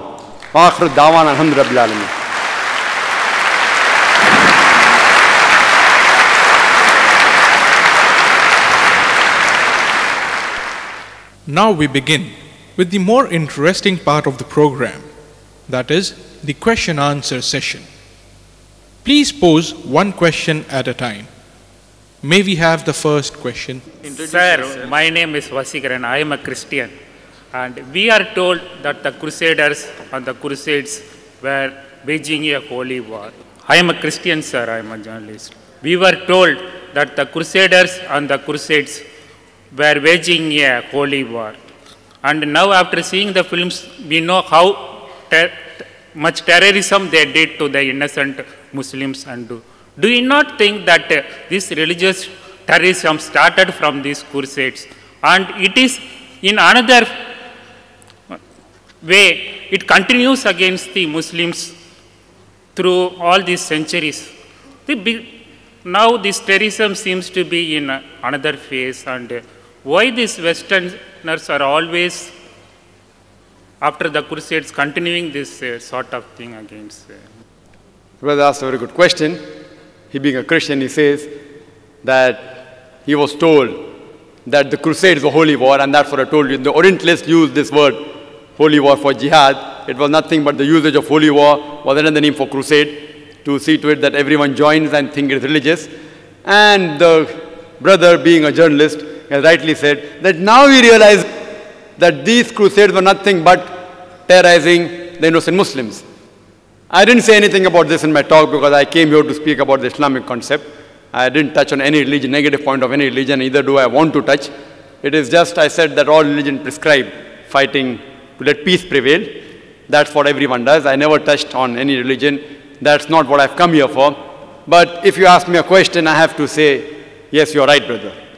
That the crusade did terrorize the innocent Muslims. And that's how it has continued. And now, the same thing what they do, they are now saying the same thing to the Muslims, which if you analyze, you see in the world around you. You see in the world around you that how many people are actually accepting it. Today, Islam is the fastest growing religion in the world. There may be still incidences somewhere in the world. There are black sheep in every community. But you will not be able to point out as a whole that where in the world are people forcing other non-Muslim to accept Islam at the point of the sword. No way. In fact, they are getting harassed because they are Muslims. Now, this thing can only be solved if you go back, if you go back to the Bible. If you read the Bible, Jesus Christ, peace be upon him, he said, it's mentioned in the Gospel of Matthew, chapter number 5, verse number 40, 41, he says that if anyone strikes you on the right cheek, offer him the other. If anyone strikes you on the right cheek, offer him the other. If someone asks you to walk one mile, you walk with him twain. If someone asks for the shirt, you give him the cloak. So Jesus Christ, peace be upon him, a messenger of Almighty God, he shows us how peace should prevail. He says, love your neighbor. So if you analyze, if you go back to the scripture, I don't find anywhere where Jesus Christ, peace be upon him, himself prescribed that you should harass the Muslims. So therefore I tell all the human beings that go back the scripture which you consider to be the most holiest, whichever scripture you consider, at least go back to your scripture, as the Quran says in Surah Imran chapter 3 verse 64, Ta'ala ila kalmitin sawa im bainakum. Come to common terms as between us and you. Which is the first term? Allah na'buda illallah. That we worship none but Allah. Hope that is the question.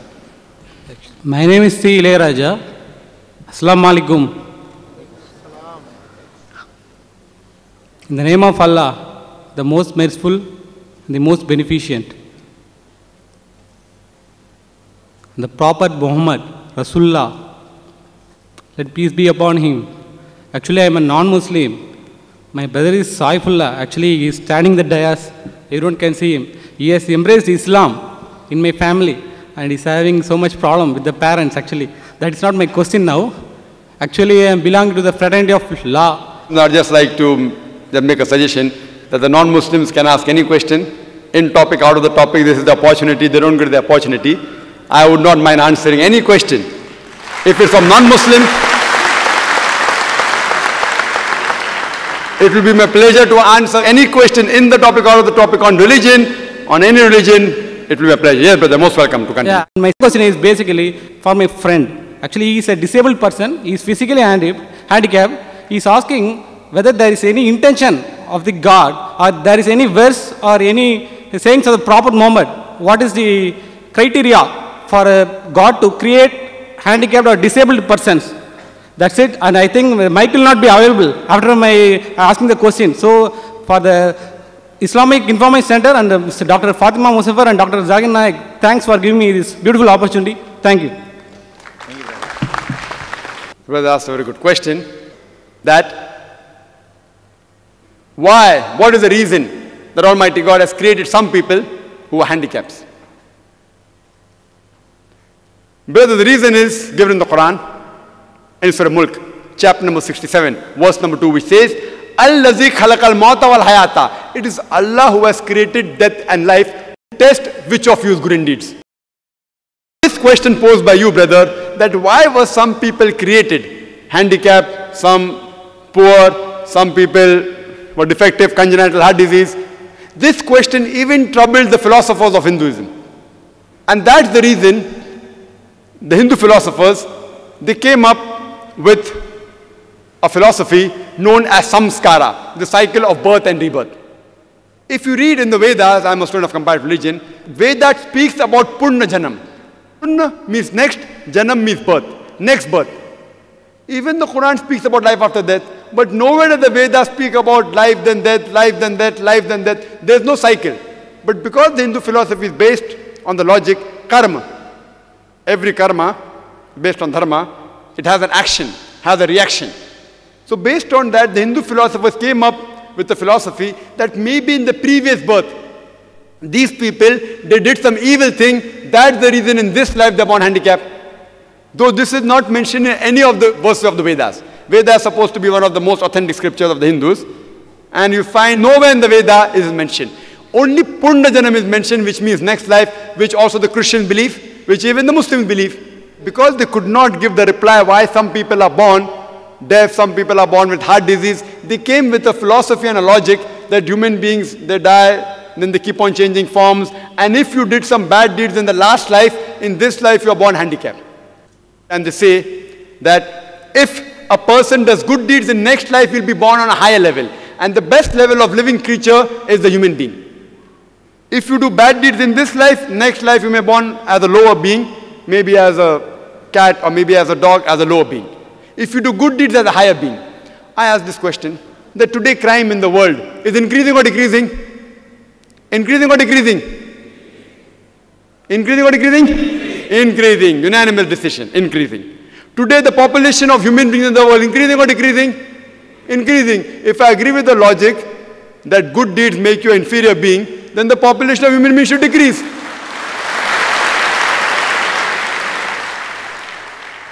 But yet the query, why some human beings are born handicapped, some poor, some congenital defect, the reply is given as I said in the Quran in Surah Mulk chapter 16, verse number 2. Allazi khalaqal mauta wal hayata. It's Allah who has created death and life to test which of you is good in deeds. This life you are leading in this world is a test for the hereafter. And based on the examination that is given to you, you will be judged. And Almighty God judges different people in different ways. See, when you appear for an examination, every year the examination paper keeps on differing. If you have the same paper, then where is the test? The paper should keep on changing. Similarly, Allah subhanahu wa ta'ala tests different people in different ways. Some people He gives wealth. If He gives them wealth, the Islamic Sharia says you have to give 2.5% of that excess wealth in charity. It is called as zakat. For a poor person, he doesn't have to give zakat. He gets 100 out of 100 in zakat. You know, the rich person is more difficult, as Jesus Christ, peace be upon him, said, it is impossible for the rich person to go to paradise. And Prophet Muhammad said, it is difficult for a rich person to go to heaven if we analyze that depending upon the facility Almighty God has given you, He will judge you accordingly. So if in giving you wealth, you have to give charity. If He has given no wealth, then you have to give no charity. Some people, He makes them born with congenital defects. They are born handicapped. So someone may ask me that what is the fault of that young child? What sin did he do? We believe in Islam that every child is masoom, every child is innocent. He's sinless. But when he's come in this life, maybe as Allah says in the Quran, the wealth and your children and your wives are a test for you. It may be a test for the parents. Almighty God maybe want to test the parents. The parents may be very pious, maybe believing in God. Now God wants to test them with a more difficult examination. That now I make your children born handicapped. Then God wants to test do you yet have faith in Almighty God? And more difficult the test, the higher is the reward. For example, if you want to appear for a simple BA graduation examination, the test is easy. To appear for an MBBS graduation examination, it is more difficult. But the moment you pass MBBS, in front of your name you get doctor. Test is difficult, but the moment you pass, you get doctor. A more superior honor. So more difficult the test, higher is the reward. So Almighty God tells different people in different ways. Just because a person is handicapped, that does not mean that he did sin in his previous life. He is innocent. The handicapped person, maybe it's a test for his parents, maybe the test for that person himself. That God wants to test him, that yet does he believe in the Creator or not? That's the reason some people he makes poor, to be born in a poor environment, some people rich environment, some people are born healthy, some people are born handicapped, and depending upon the examination he gives you. You know, when we have a 100 meter dash, there are some people who get handicapped. They start from a 50 meters mark. Because if a person who has slight defect in the leg, to make the race equal, he gets a 50 meters lead. If Almighty God has seen to it that certain facilities have been taken away from certain human beings, his test will be accordingly. If the examination paper is difficult, the teacher corrects the paper leniently. If the examination paper is very easy, the teacher corrects the paper very strictly. So similarly, Almighty God has created different human beings in different ways, in different colors, in different languages, in different atmospheres. And depending upon the atmosphere they have been provided by Almighty God and the facility they have been given, they will be judged accordingly. Hope that answers the question. Uh, this is regarding the many books which were written against Islam, which led to the belief that uh, a lot of people worldwide that our religion was wrong, the Quran was wrong, and our prophets were wrong. Among these people who believed in it, there were a lot of Christians who believe in the Bible too. And the Bible and the Quran have nearly the same prophets. We have Jesus Christ too, we have Moses too. So, why today is the term terrorist used only in respect to Muslims? This is a good question that when Quran and Bible there are so many similarities, so why is this word specifically used in terms with Muslims? As I told my talk sister, this word fundamentalism initially was coined to describe a group of Christians in America in the early part of the 20th century when they objected to the church. So this word was coined for the Christians initially. The first time it was used in English language. It was coined to describe the Christians. But today, as I told you, they have turned the tables over. So now they use it more to describe Muslims. Why it is the case regarding similarities, I've given the talk, sister, similarities between Islam and Christianity. Where I've described that there are various similarities between Islam and Christianity in the Quran and the Bible. So at least we, as human beings, let us agree to follow these similarities. The differences we can talk later. But the reason that they are doing this, as I told you, because Islam today is the fastest growing religion in the world, the people may be fearing that if Islam grows, maybe what they call as pleasure, they may have to give it up.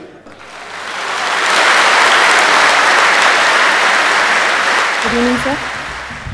My name is Vasudha Tyagarajan. I'm a law student, actually. Firstly, I would like to thank you for giving us such an informative talk on uh, terrorism and Islam. My question is, uh, what do you think is the reason for the sudden increase in the number of terrorist organizations which are basically Islamic and they fight in the name of Islam? And since you say that uh, Islam is giving the guidelines is that uh, women, children, elderly people shouldn't be injured or killed, uh, but there have been various bomb blasts and killings of women and children. What do you think is the reason for that? Thank you. The sisters asked a very relevant question that what is the reason that there's increase in terrorist organization amongst the Muslims and so many bomb blasts, and especially when Islam says you should not kill children, etc. What is the reason? And that's a very good question. Personally, tell you again that personally I haven't met and interviewed any so-called 100% hardcore terrorist. I haven't met. But I can give the reasons, the logical answers why such thing may be happening. Number one, some people may really be terrorizing the innocent people. Some Muslims may be on the wrong track. They may not be following the guidance of the Quran. Like you have black sheep in every community. One of the number one terrorists of human history, who it is? It is Hitler. He has incinerated six million Jews. So can I blame Christianity for that? Hitler was a Christian. So I can't say because Hitler incinerated six million Jews, therefore Christianity says that you have to. He alone, if you add up all the terrorist organizations put together, I doubt whether they'll reach six million. One individual alone. Again, Mussolini. Mussolini is a Christian. So just because Mussolini killed thousands of innocent people, that does not mean I can blame Christianity for that. So there may be certain black sheep in the community, black sheep, maybe calling themselves Muslims, and maybe in the wrong, maybe. Point number two. It can be that there are people who are harassed. Like you asked me, that today there is no Indian fighting for the freedom of the country. Do you find any Indian fighting for the freedom of the country? No. But 100 years back, got several. So if you ask me, Brother Zakir, why did 100 years back there were many Indians fighting for the freedom? Because the British government ruled India. That's the reason people are fighting for their freedom. Today the British government has gone back, so no one is fighting for the freedom. So maybe these Muslims may actually be harassed. They may be being harassed. And you find this in several parts of the world, in Palestine, etc. That you find that maybe if you go to the history, if you go back to the history and you find that they have really been harassed, and if no one is coming out to help them, they are resorting to whatever means they have. Like the example which is given in the Bible, David and Goliath. The stone was sufficient. So who's to blame? We are to blame. We are to blame that we aren't going to the root cause of the problem. If there's a terrorist organization, we have to go and really find out what is the reason that they have resorted to terrorism. The only way we can solve this problem. Just by killing them, these terrorists, it will not solve the problem. If you kill one, there will be 10 emerging. What we have to do, we have to go and find out what is the reason. Why are you resorting to this method? We have to go back to the root cause. It is like giving the example of Palestine. When Hitler incinerated 6 million Jews, the Jews were kicked out from Germany.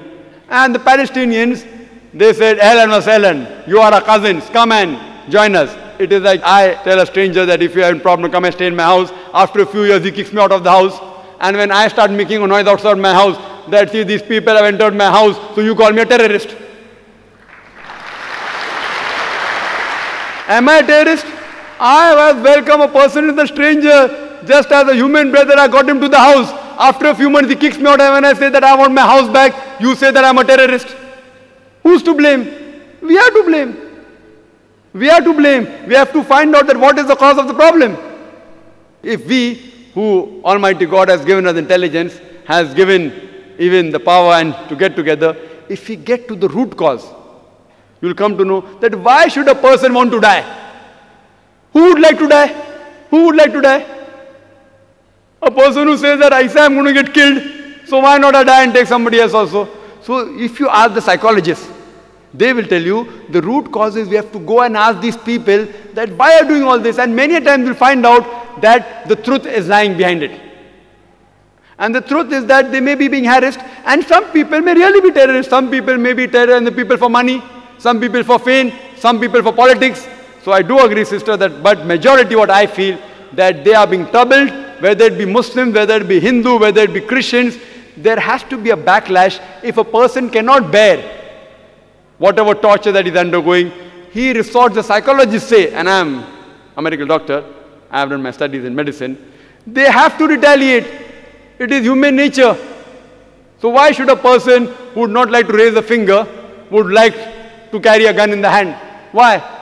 So what we have to do, we have to find the root cause and try and solve this problem. That's the only way we can see to it that these terrorizing the innocent people will stop and all human beings can live together as one brotherhood. Yeah, myself is uh, Ravi Kumar. I am a software engineer. And uh, my first request to my fellow Indians is don't always relate September 11 with terrorism because so many things have happened in India. More than 20,000 people have been killed in Kashmir. 2,000 Muslim brothers have been killed in uh, Gujarat. So we have so many instances to link with terrorism in India itself. Like we can link December 13th with terrorism and the day in which Akshardham temple people have entered, that we can link it with the terrorism. My, I thank uh, Mr. Zakir Naik for clearing the misconception about the jihad. My question is that you told that uh, just for the sake of one person, you cannot uh, attack the country. Now, I am asking about the imaginary scenario. Suppose I am going to the some Arab country, I am causing a great devastation, I am killing lakhs and crores of people there, and I am coming back to the India. And uh, the country is giving a proof to me, a proof to Indian government, stating that this person has caused the devastation. And the Indian government is repeatedly tell, telling that uh, proof what is given by you is not valid. And that proof is being shared with the other countries. They all agree. And suppose the country repeatedly is not ready to surrender me, then what is the action that particular country has to take? Uh, let, let just, uh, I, am, I am not completed.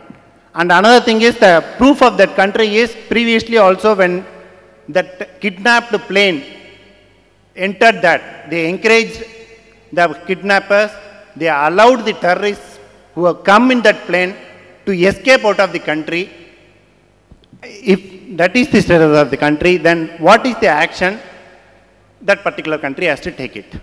You are telling, suppose I have come, after causing a devastation, I have come back to India, Indian government is not ready to surrender me, and the proofs have been given, and Indian government is repeatedly telling the proof what you have given is not valid. What is the action that country has to take? The brother has asked a very good question and a very relevant question, a very good analogy between what's happened 11 September again, though he came back to 11 September. analogy is very good that he as a person goes and crosses an Arab country, kills thousands of people, devastation comes back, and the Arab country gives proof to the Indian government, Indian government does not accept. Mullah Omar again, he's not my friend. He told USA, he told USA, give me proof. And the USA government could not give proof. They shared it with Tony Blair.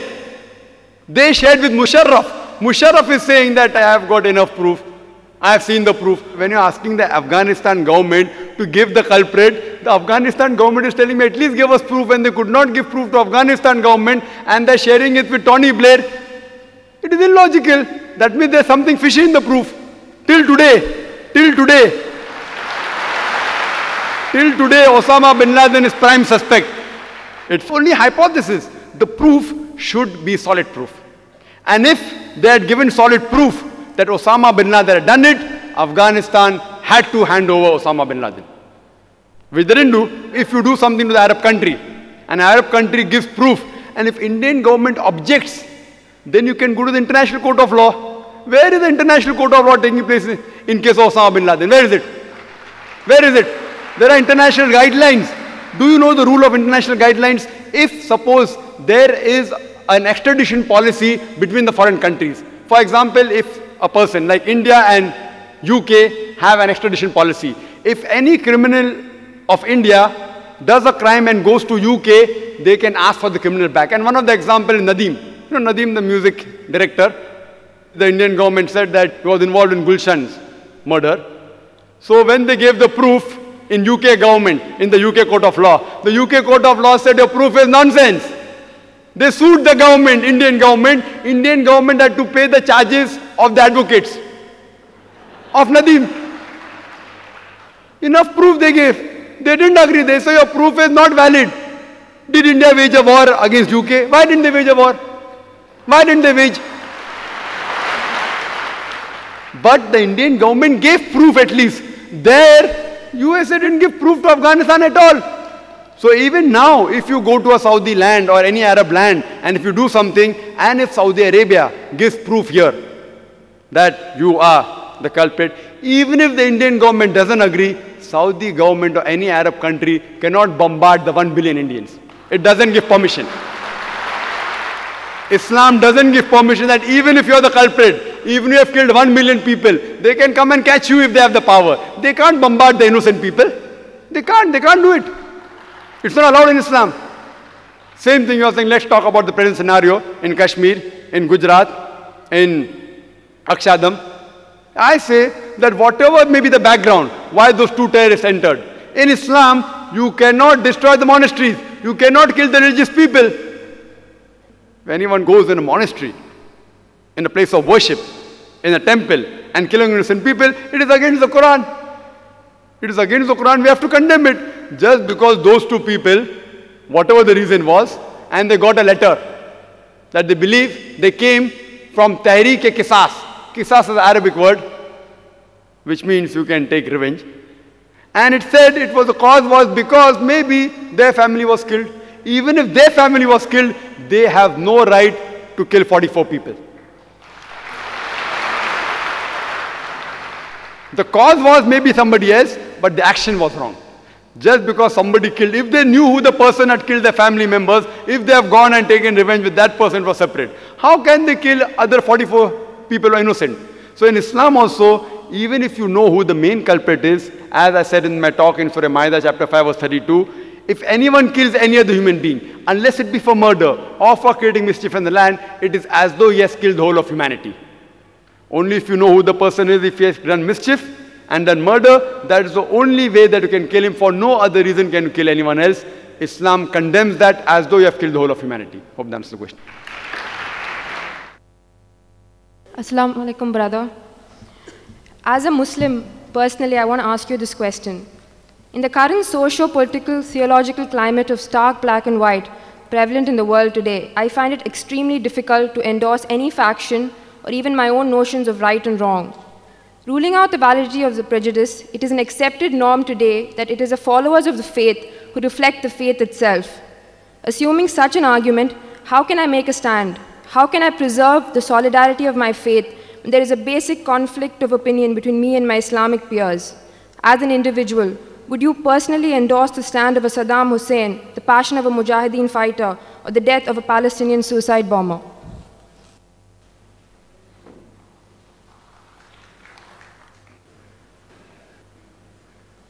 The sister asked the question that seeing the conflicting views and ideas, she doesn't know where she fits in. Who should she agree with? Who should she not agree with? What should she say?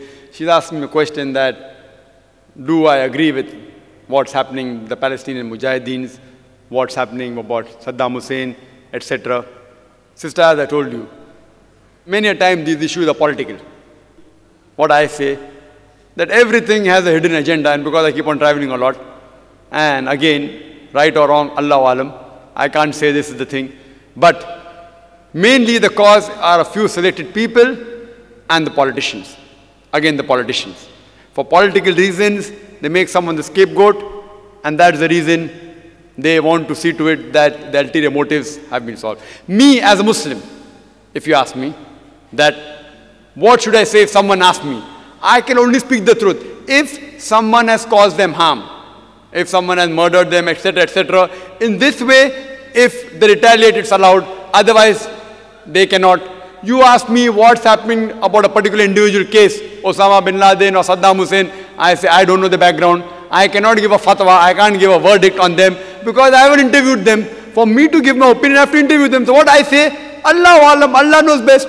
Allah will not ask me on the day of judgment, is Osama bin Laden a terrorist or not?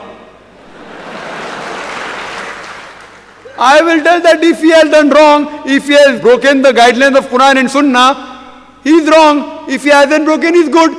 That is not my basis to pass the examination. What I have to read? I have to read the Quran, I have to read the scripture. This question can be dealt with those who are experts who keep on traveling to Afghanistan, taking interview, etc. And we find such coming in the paper, etc. You as a Muslim, me as a Muslim, Allah will not, Almighty God will not ask us the question of day judgment that do you agree Saddam Hussein is a terrorist or not. We have to say, Allah alam, we don't know. Neither do we support them, neither we condemn them. If there's solid proof of a particular person, of a particular Muslim who has done an act which is proven to be against the Quran, then we have to condemn him. But if there's no proof, which is substantial proof, we have to remain neutral. That's what Quran says. And your faith hasn't to shake, sister. Your faith should be based on the truth which is mentioned in the scripture. The best way to see to it that the faith is reinforced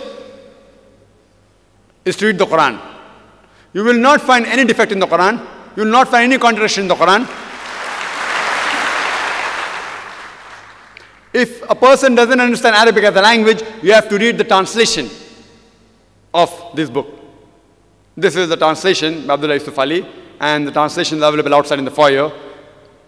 That sister, if you read how to lead a life based on the Quran, inshallah faith will become strong. And believe me, you will not feel shy at all to practice any of the fundamentals of Islam if you know the reason and logic why these fundamentals have been prescribed. If you know that, believe me, I keep on traveling in different parts of the world.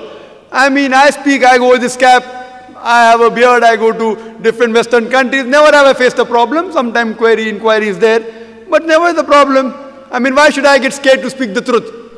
So if you have knowledge of the scripture and you know the reason and logic, you will feel proud.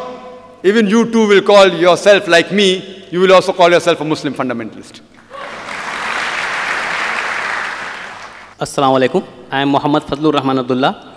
Uh, sir, we are still on this 11th September. I want to say something on this. That as you told that, uh, as you told that there is something fishy in the proof. That's why they didn't prove, uh, put the proof. I got this fish on the net. Uh, there is site in the inin.com, inin.net that have been banned actually. But I got one page in that that there were two pictures displayed on that.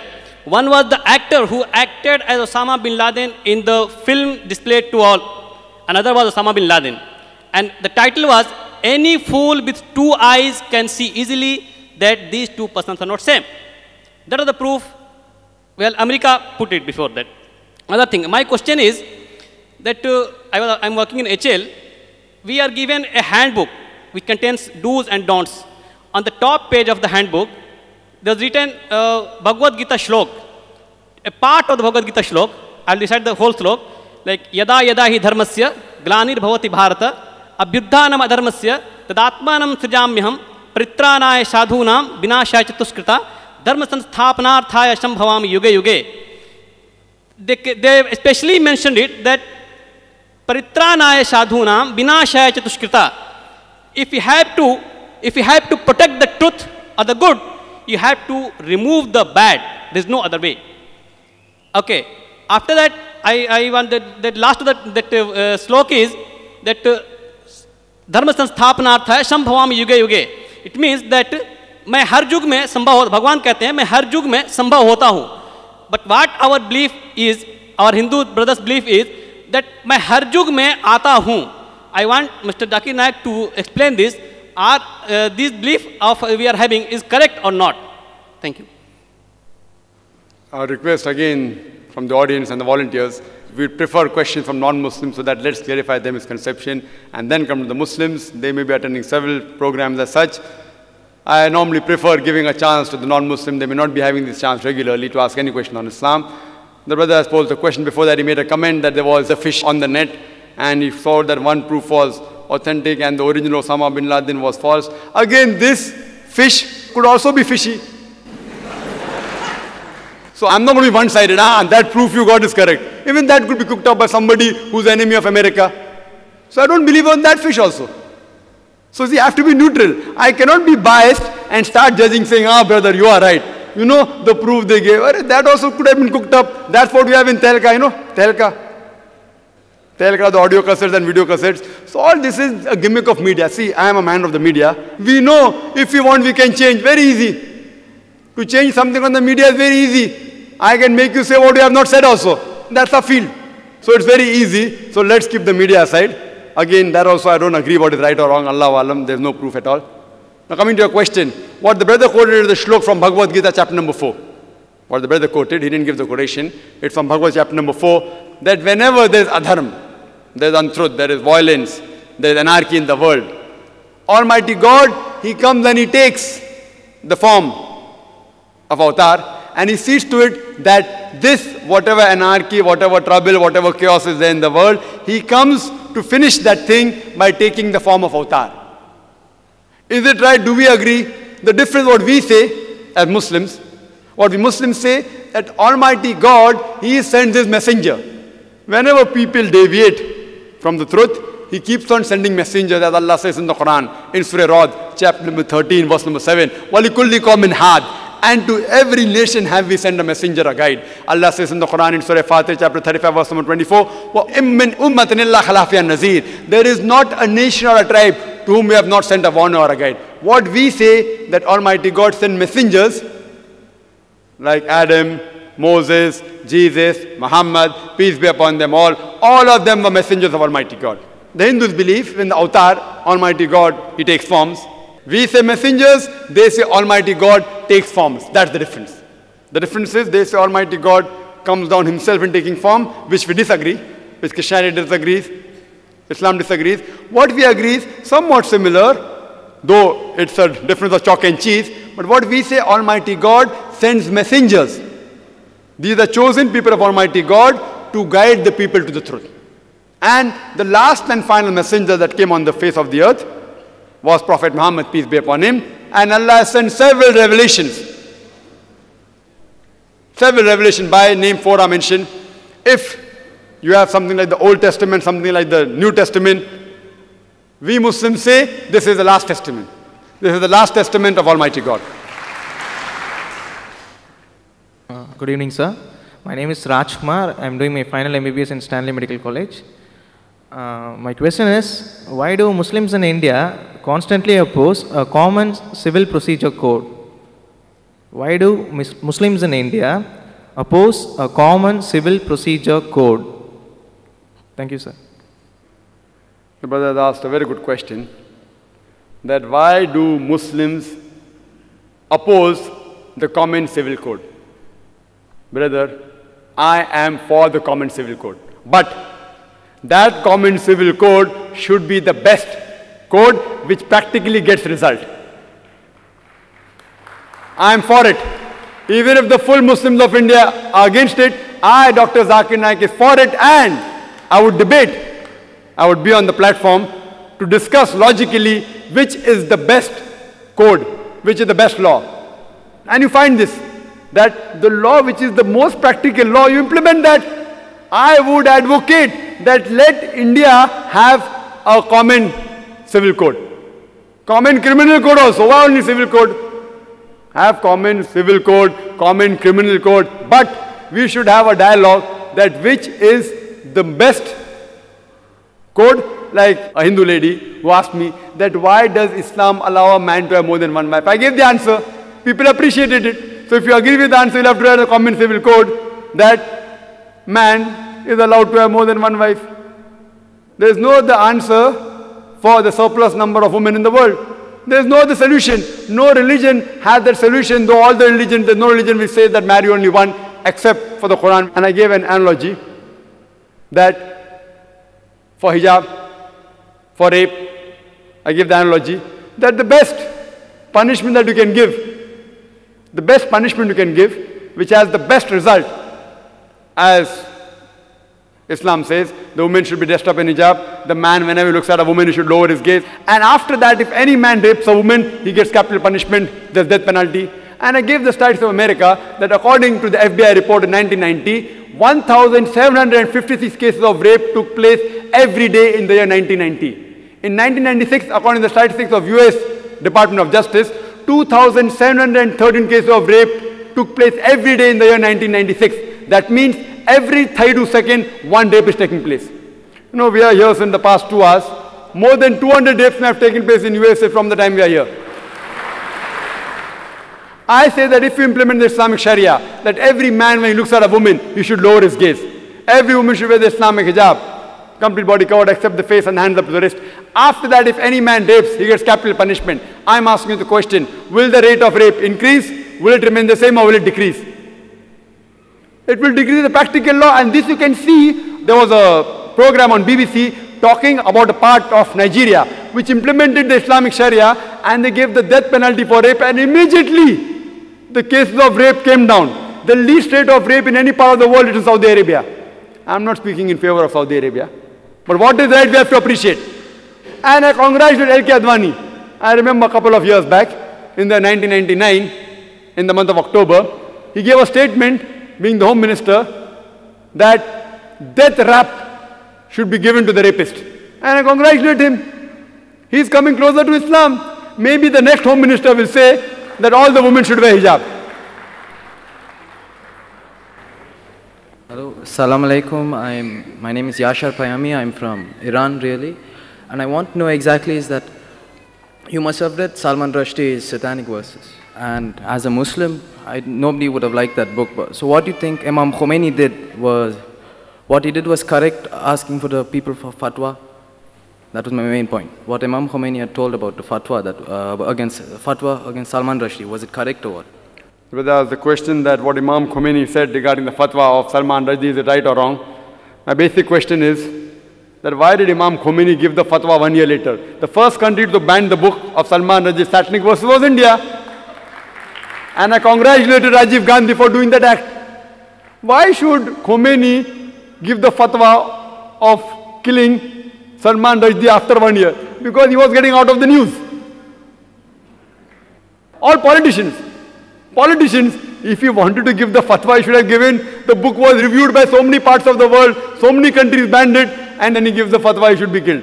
Whether right or wrong is afterwards, all the political gains. All political gains. All these things are political gains. But what Rajiv Gandhi did, maybe he didn't know about it, and I've given a talk on this issue of satanic verses. Though this book is banned in India, I've read that book. You know, Salman Rushdie, who claims, just for namesake, is a Muslim, He did not leave anyone. In his book, he even abuses Queen Elizabeth. And the same British government who had banned an American author for using a four letter word, father, uncle, cousin, king, for the policy of Margaret Thatcher, that same Salman Rushdie, he makes it active and use ing. And yet the book is very popular. So one American author, they banned because he uses a four letter word for Margaret Thatcher. This another person, Salman Rushdie, makes it active, ing, for the same Margaret Thatcher's policy, but he gets an award. Why? Because he's maligning Islam, so they're very happy. And do you know, he even did not leave Ram and Sita. You know, these people are respected by the majority of the Indians. He even abused them. I don't want to use that word. He abused them also, he don't leave them. And many of the people are supporting. So maybe Rajiv Gandhi didn't know. But later on, if you read that book, you realize he did not leave anyone. So if a person who keeps on maligning, etc., Allah says in the Quran, in Surah Maida, chapter number 5, verse number 33, As to anyone who wages a war against Allah and His Messenger, there are various options given, that you can either execute him, you can crucify him, chop off opposite limbs, or take him out of the country. And this law is not only in the Quran, it is even in the Bible. If you read the book of Leviticus, it says that anyone who blasphemes the law, you should stone that person to death. Even a passerby who is a stranger should stone that person to death who blasphemes the law. So this law is then all the religious scriptures not only there in Islam, in most of the religious scripture for blasphemy, whether it be Christianity, whether it be Islam, whether it be Judaism, for blasphemy, if it's a confirmed blasphemy, if it's that part of the country. We cannot give fatwas here, they should kill him, etc. If it's an Islamic state of law, if anyone blasphemeth, there are certain laws and rules and regulations laid down. But what politicians do, whether it be a Muslim politician or whether it be a non-Muslim politician, I'm sorry, I don't again want to hurt any politicians per se. If not all, I say majority. You find somewhere or the other they compromise for their own vote bank. And that's the reason that it is said that religion and politics, that pulls apart, they use religion as a plank to see to it that they get fame, etc. And that's what people do, which we people should be aware that the fatwa given by Khomeini, it was just a political gimmick according to me. But banning the book, what Rajiv Gandhi did, was perfect. He banned it, he was the first. And now they're thinking of removing the ban. I don't know whether the ban has come out or not. There's another statement that they're trying to remove the ban. But if anyone blasphemed the Lord in Islam, in Christianity, that person according to Christianity should be stoned to death. In Islam, there are four options. You can even exile him. Christianity, no option. Christianity, only stoning to death. In Islam, there are four options you can choose. In Christianity, you have to stone that person to death. Hope that answers the question. Good evening, sir. I'm T.A. Anuragni. I'm a final law student. The, I believe that terrorism could be stopped by, uh, at least could be reduced when people are taught about tolerance. Does Islam preach about tolerance? And if, if it does, do people who are in charge of imparting Islam, I mean, uh, I believe uh, there are a lot of, um, I don't know the exact term, terminology, there are uh, gurus like in Hinduism who teach Islam to the other uh, um, Muslims. So in that case, do they, do they impart, uh, preach tolerism? The sister asked a good question, and she rightly says that terrorism can be curbed by teaching tolerance. And does Islam teach tolerism? Do the religious leaders of Islam, do they teach tolerism? Sister, I said in my talk, which I said a bit fast, I didn't pay emphasis on it. One of the criteria for any human being to go to Jannah, to go to heaven, to go to paradise is tolerance. Allah says in the Quran in Surah Al-Asr, chapter number 103, verse number 1 to 3, Wal Asr, Innal insana fi khusr, illa allazina amanu wa amilu salihati, wa tawasaw bil haqqi wa tawasaw bil sabr. By the token of time, man is verily in a state of loss, except those who have faith, those who have righteous deed, those who exhort people to truth, that is to dawa, and those who exhort people to patience and perseverance. Tolerance is one of the criteria to go to Jannah. If you are not tolerant, according to Surah Al-Asr, you shall not go to Jannah. Not only should you be tolerant, you should even exhort people towards tolerance. But tolerance by definition, it has got various meanings. And if you ask experts, that tolerance also has a limit. What do you mean by tolerance? Fine, someone does something wrong to you, you do not retaliate, it's good. Till how long? So tolerance also has a limit. And in Islam, zalim is a person who does zulm. Means you could say that a person who causes harm. There are two types of zulm. One is a person who does harm to the others and another person who does harm to himself. The two types of zalim and both are referred as zalim. One who does zulm on others, another type who does zulm on himself. Our beloved Prophet Muhammad said, it's mentioned hadith of Sahih Muslim. If you see anything which is wrong going on, if you can, you should stop it with your hand. If you cannot stop it with the hand, stop it with your mouth, with your tongue. If you cannot stop it with the tongue, at least curse in your heart that the act is wrong. And if you do that, you are the lowest level of believer. The lowest level. So what we have to do, that we have to be tolerant, teach tolerance, as Allah says in the Quran in Surah Baqarah chapter 2 verse 153, Inna Allah ma sabreen. That verily Allah is with those who do sabr. But while doing sabr, we should see to it that does not go beyond limit. Sabr also has a limitation, tolerance has a limitation. So before it goes over limit, if you see that a woman is being raped, you can't tell the woman, tolerate it, no problem. If God has given me strength, if I see a man raping a woman, I should stop it with my hand.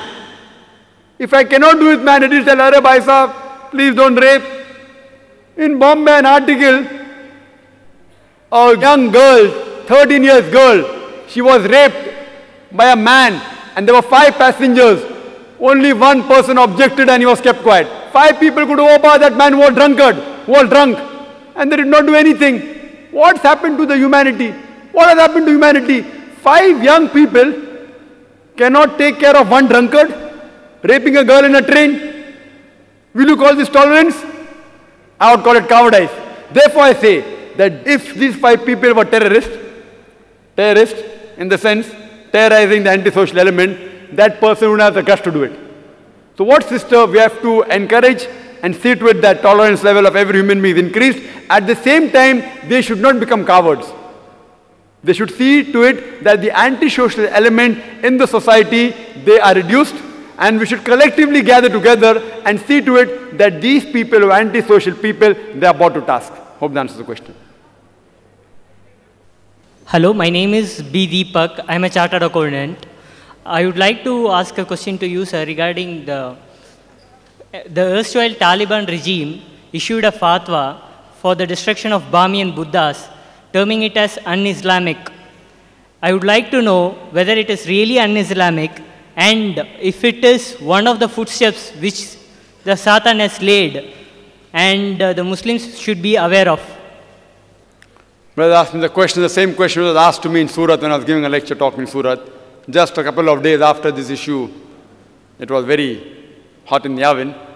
The Taliban had, were destroying rather at that time the statue of Buddha Bamiyan. The brother asked me the question that, is it Islamic, etc. And the same question asked by a non-Muslim to me in Surat, that is it right or is it wrong?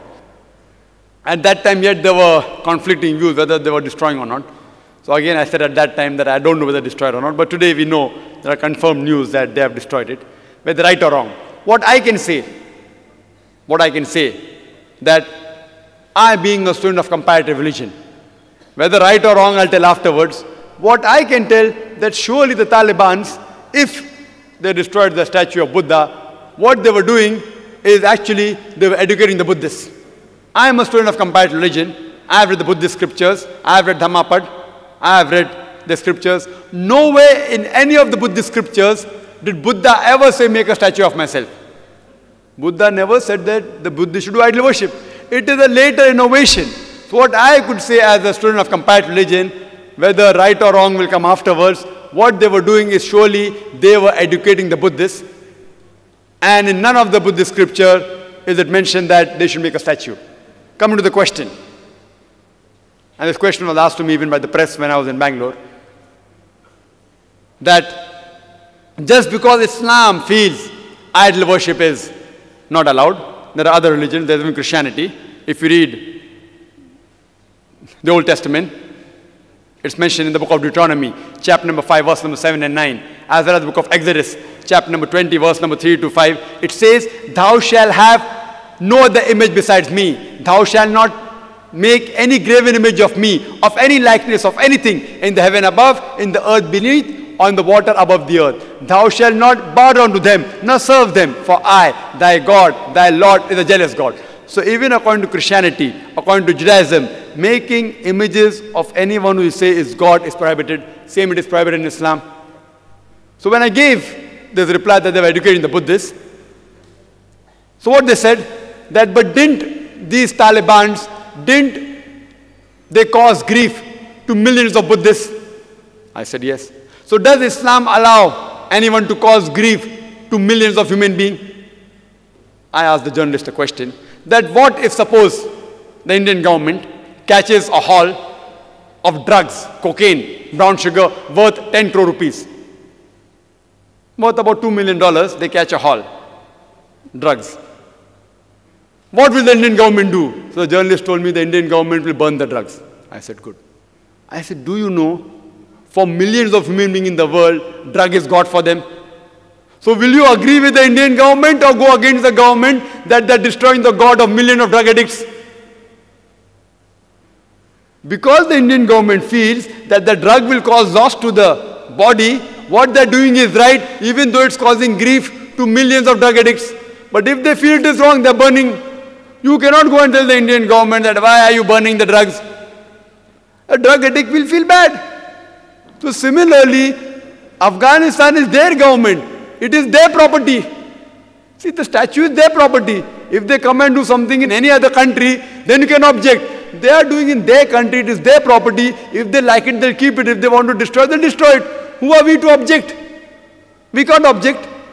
And furthermore, if you analyze that people who talk, there was the person who said that Indian government is so tolerant. Do you know in Bombay, when you come out of the domestic airport, of the Santa Cruz airport, there was a big statue of Mahavir, of Mahavir, just outside the Hotel Jal. And it was unclothed. So the people took objection. And then they built a wall in front of the private parts. Later on, after a few months, they removed the statue. Now, those same people who objected to the statue being there, those same people today are condemning Afghanistan. Why? The same people who objected to the statue being on the road. See, and do you know there are more Jains in India than Buddhists in Afghanistan? So when the government of Bombay could remove the statue which is believed to be God or believed to be the Tirthankars of the Jains and there are more Jains living in India than Buddhists live in Afghanistan, at that time no one objected. And now when the Afghanistan government is doing, you're objecting. Why these double policies? You know why? Because of vote bank. Won't the Jain feel bad? So if the Jain believes in keeping a statue of Mahavir, who's a Tirthankar, why are we objecting? At that time, everyone objected. The statue should be removed. Statue should be removed. And the same people who objected today are condemning that why did you destroy the Bamiyan Buddha statue? Double policies. Therefore, we as logical people should have a single policy. We should not be two-faced jammed in where we keep on changing the rules. So what I feel that it is their property. Suppose, suppose a non-Muslim, he buys a house. In the house there is a carving of Kaaba. Suppose if there is there. If that non-Muslim does not like Kaaba and he defaces the Kaaba, how can I object? If someone, you know, and believe me, if, if any Muslim, if any Muslim, if he makes a statue of Prophet Muhammad, peace be upon him, and if you disturb the statue, even if the full Muslim world is against you, I, Dr. Zakir Naik, will support you. Because making a statue of Prophet Muhammad, peace be upon him, is prohibited. If any Muslim lunatic makes the statue of Prophet Muhammad, peace be upon him, and he worships it, and if you being a non-Muslim, knowing knowledge of Islam, if you go and destroy the statue, even if the full Muslim world is against you, I, Dr. Zakir Naik, will support you.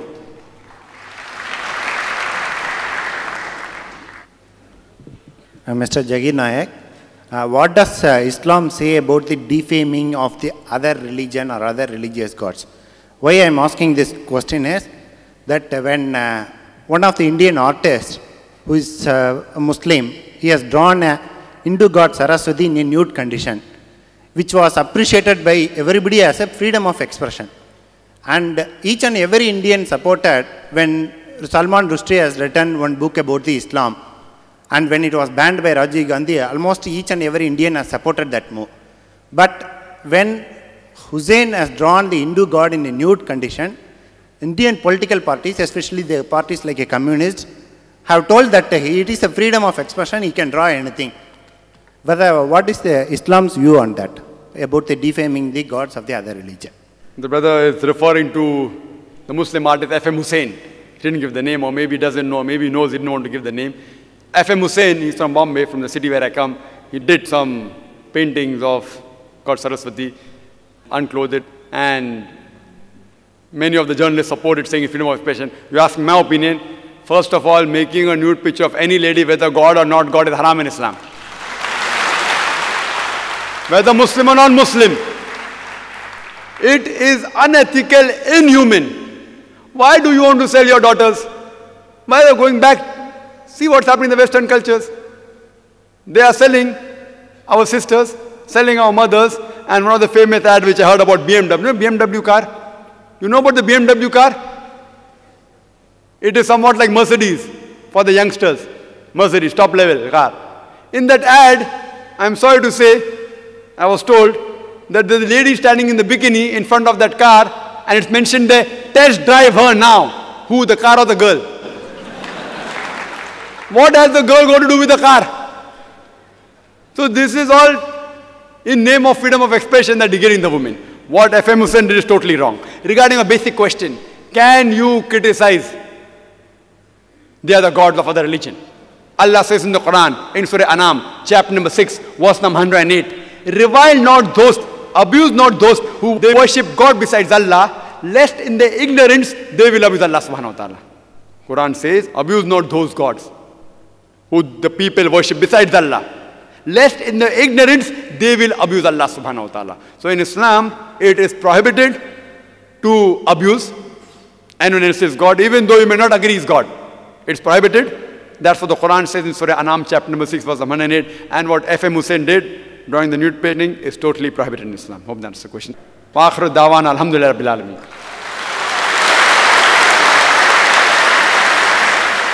It's my extreme privilege to thank the Consul General of the U.S. Consulate of Chennai, Dr. Richard D. Haynes, Mr. Krishnachand Chorodia, Dr. M. S. Ambaresan, and Dr. Zakir Naik and his team, and all the volunteers and co-organizers of the program.